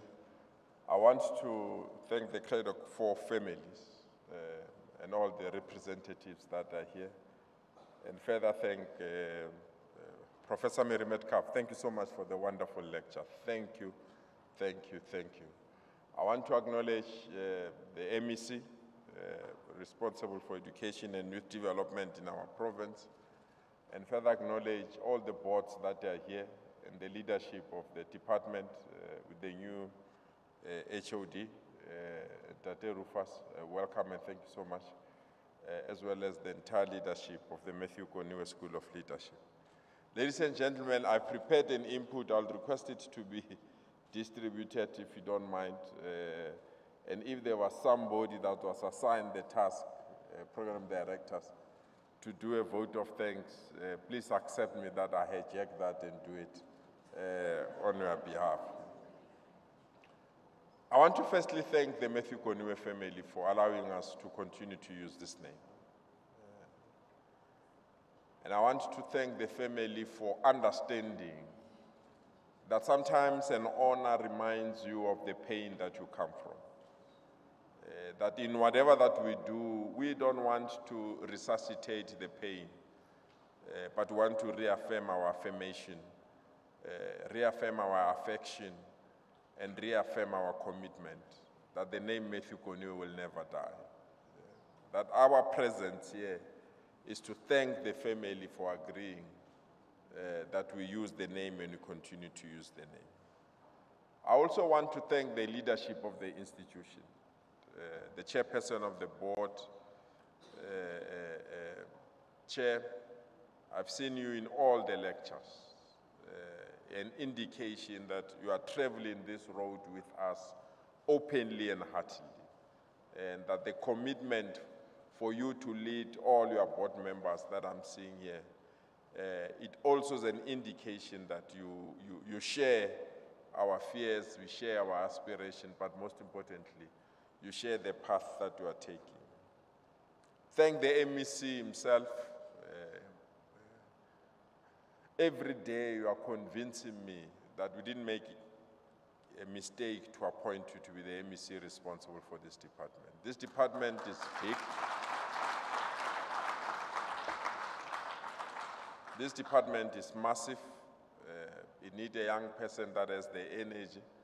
I can see you're making a joke about my uh, looks foot, uh, in 2014. Uh, I don't mind to keep your looks, I'll remind you in 2030 as well. Because this department needs somebody that has to be there all the time. Um, and I want to thank you and appreciate um, whatever that you are doing for us. I further want to thank all the institutions that have uh, combined their thoughts and their ideas, uh, uh, Sci-Bono, uh, Matthew Goniwe, School of Leadership, the department itself, uh, for all of you for agreeing to ensure that we observe and, and deal with this thing. And I always say, and I must uh, emphasize that point, uh, that when you speak about Matthew Goniwe and the Cradock Four, uh, we'll always have mixed emotions. The sadness uh, part of it is that we remember people that have been killed for no apparent reason. We remember people that have their careers cut short at their prime. We remember people that have nothing, nothing except the love for our people and our country. Uh, and that pains us every time when we have to observe this. But we also have the positive, and that's what excites me. uh, that we can report to Matthew Goniwe and the Cradock Four that finally, finally, the final coffin to an apartheid education system has been nailed. That as I'm speaking to you now, the passing by our parliament of the Basic Education Amendment Laws, the BELA Bill, it was a signal that people's education is finally resting in our country. That we can finally report to them that what they fought for and what they thought by assassinating them they will stop it, they failed to stop it when that bill was overwhelmingly adopted in our parliament last month. A signal to say language will no longer be a discriminatory tool, that our children, regardless of their background, they now have a full right to go to any school of their choice and be in any class of their choice without being discriminated because they speak a different language. That's the power that we wanted, and that's the power that we have now. And they can rest in peace knowingly that we'll implement that BELA bill, and we must not turn back. You will be cowards, MECs. You will be cowards if you are a minister. You will be cowards if you are a principal. You will be a coward if you are an SGB, if we can't implement that BELA bill so that our children can be finally be free. Our message is very simple. They might have oppressed our forefathers. They might have oppressed our parents. They tried to oppress us, we defeated them. But we will never oppress our children and our children's children in future. We remain very strong. We remain very strong and very firm that regardless of the level of insult, non-racialism is the future and we'll defend it with whatever that it takes. Any person that does not want non-racialism, we will impose it on them because non-racialism is not bad. It's a good thing for our society. So we stand here to thank everyone that have played that particular role. But we want to extend that role, the leadership of Matthew Goniwe School of Leadership. We want to extend that role. And you know what we have said to you, and I'm glad that uh, even the MEC is emphasizing that particular point. Gone are the days where we'll teach our children how to praise a frog. Gone are the days where our children have to use a brick as a toy to play in our schools. We need teachers that have an impact. And we need teachers that will be like Matthew Goniwe and all those that were part of the Cradock Four. We need teachers that will understand the importance of the economy and teachers that will understand where we want to take education in our province. So Matthew Goniwe School of Leadership must be prepared to be an institution that will produce new educators, educators of the future. It's extremely important and it's non-negotiable. The reason why we are arguing that particular point is that all teachers in this particular country are trained from the same institution.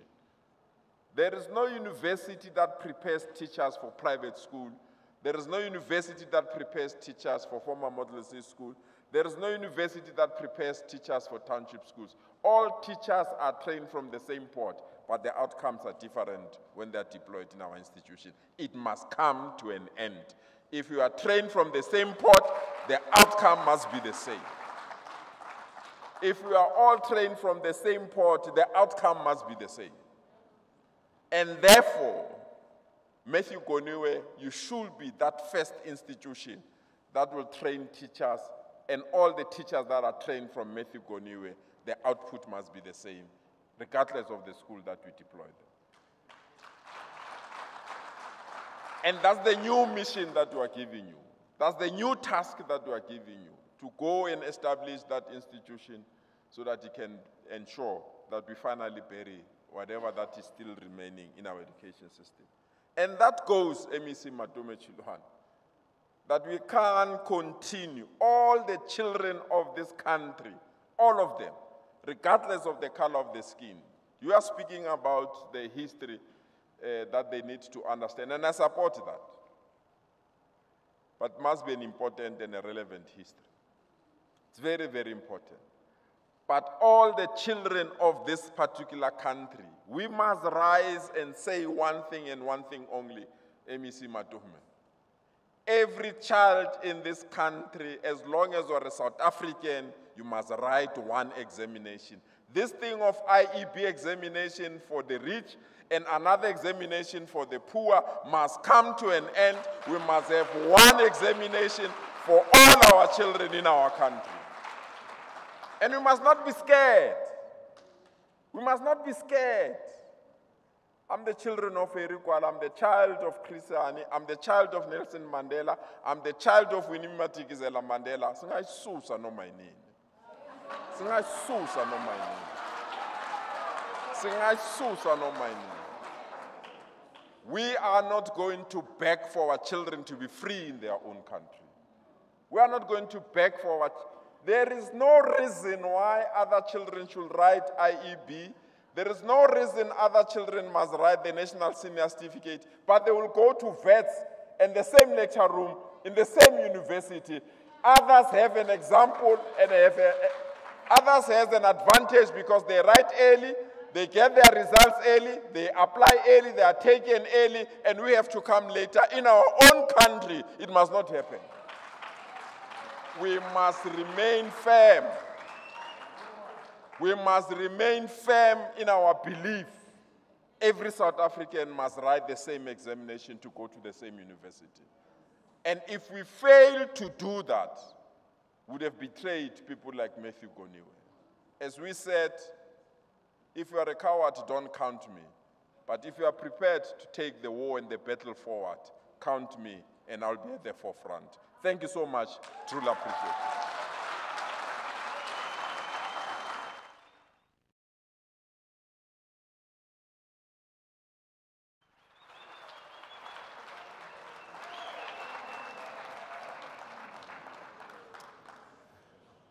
Well, the gauntlet has fallen, right, uh, Premier? Uh, there was a moment that we needed to drop the mic there. the mic didn't drop this time around. Um, I have to say, though, Premier, um, uh, before I call on the, the head of the audit committee of um, the board,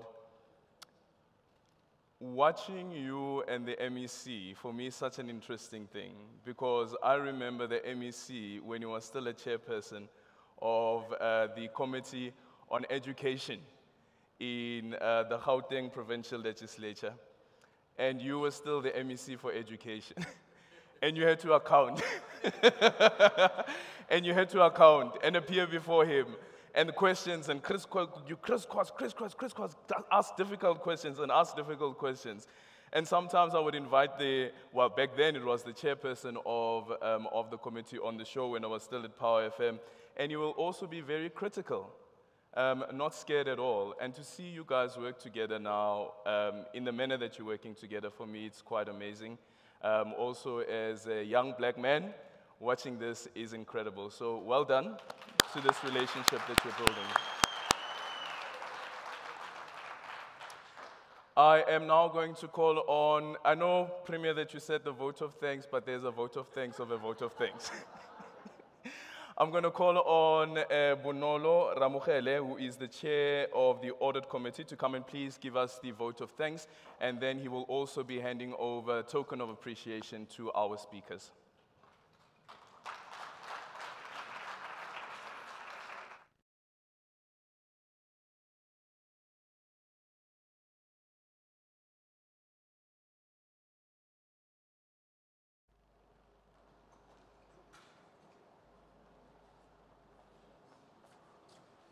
Uh, evening, ladies and gentlemen.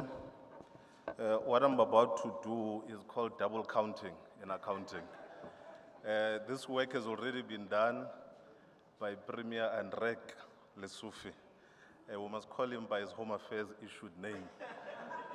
Um, my job is fairly simple uh, now that the leader of the province has uh, paved the path. Is just to, uh, number one, thank the family. Um, I think I've, I've worked in institutions of government and the private sector, but I've not seen an institution that takes a conscious effort to involve uh, the family uh, the way that uh, Matthew Goniwe uh, School of Leadership does. Uh, to thank the bishop and the family and the delegation uh, from Cradock. Um, we actually do discuss the family as a board.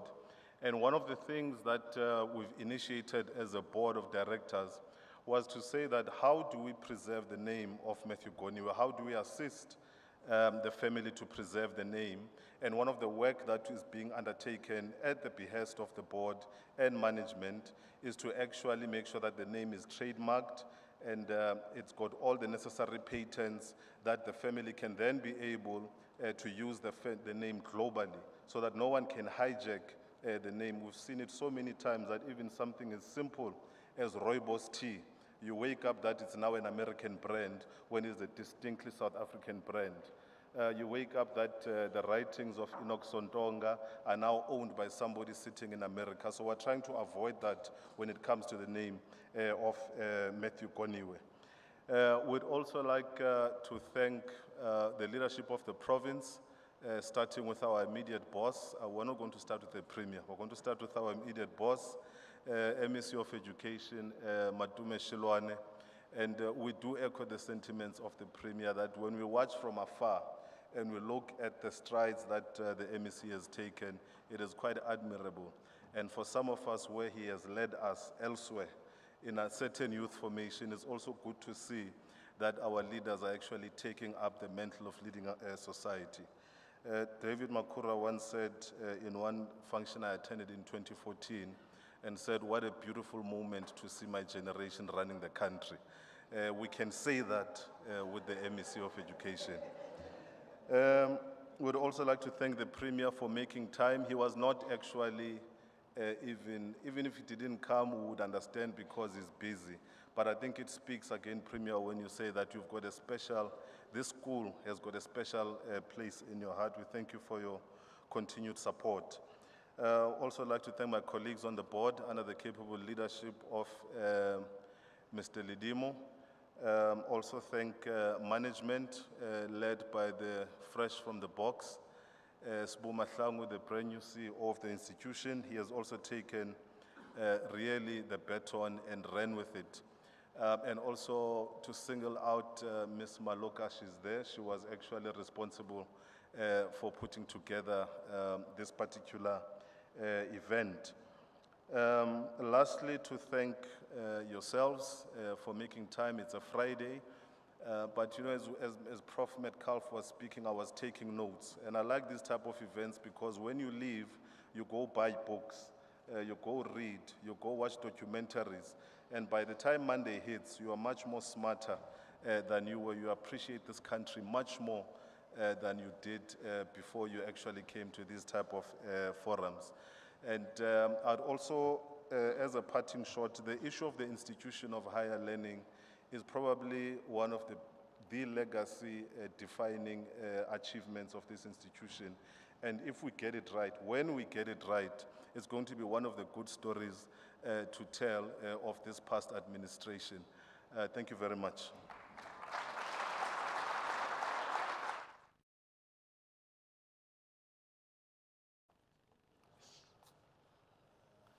So is that moment for the photo op.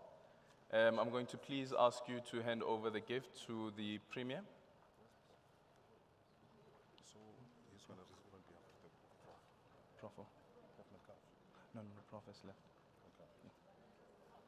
Uh, Premier, if you can please come and join us on stage.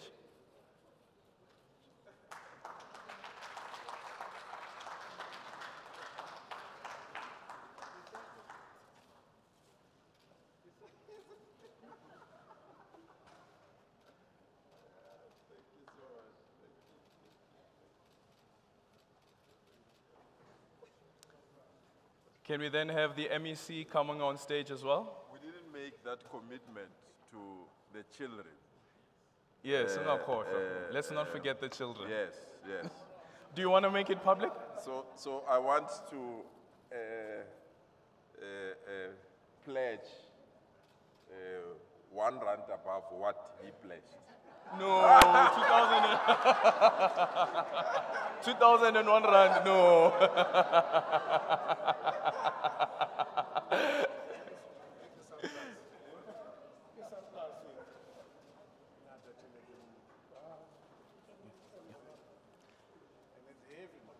It's heavy, it's heavy, it's heavy. We need transparency also to know what's in there. Um, and then we're going to call on U- Nyaniso. Uh, Nyaniso Goniwe, please come to the podium.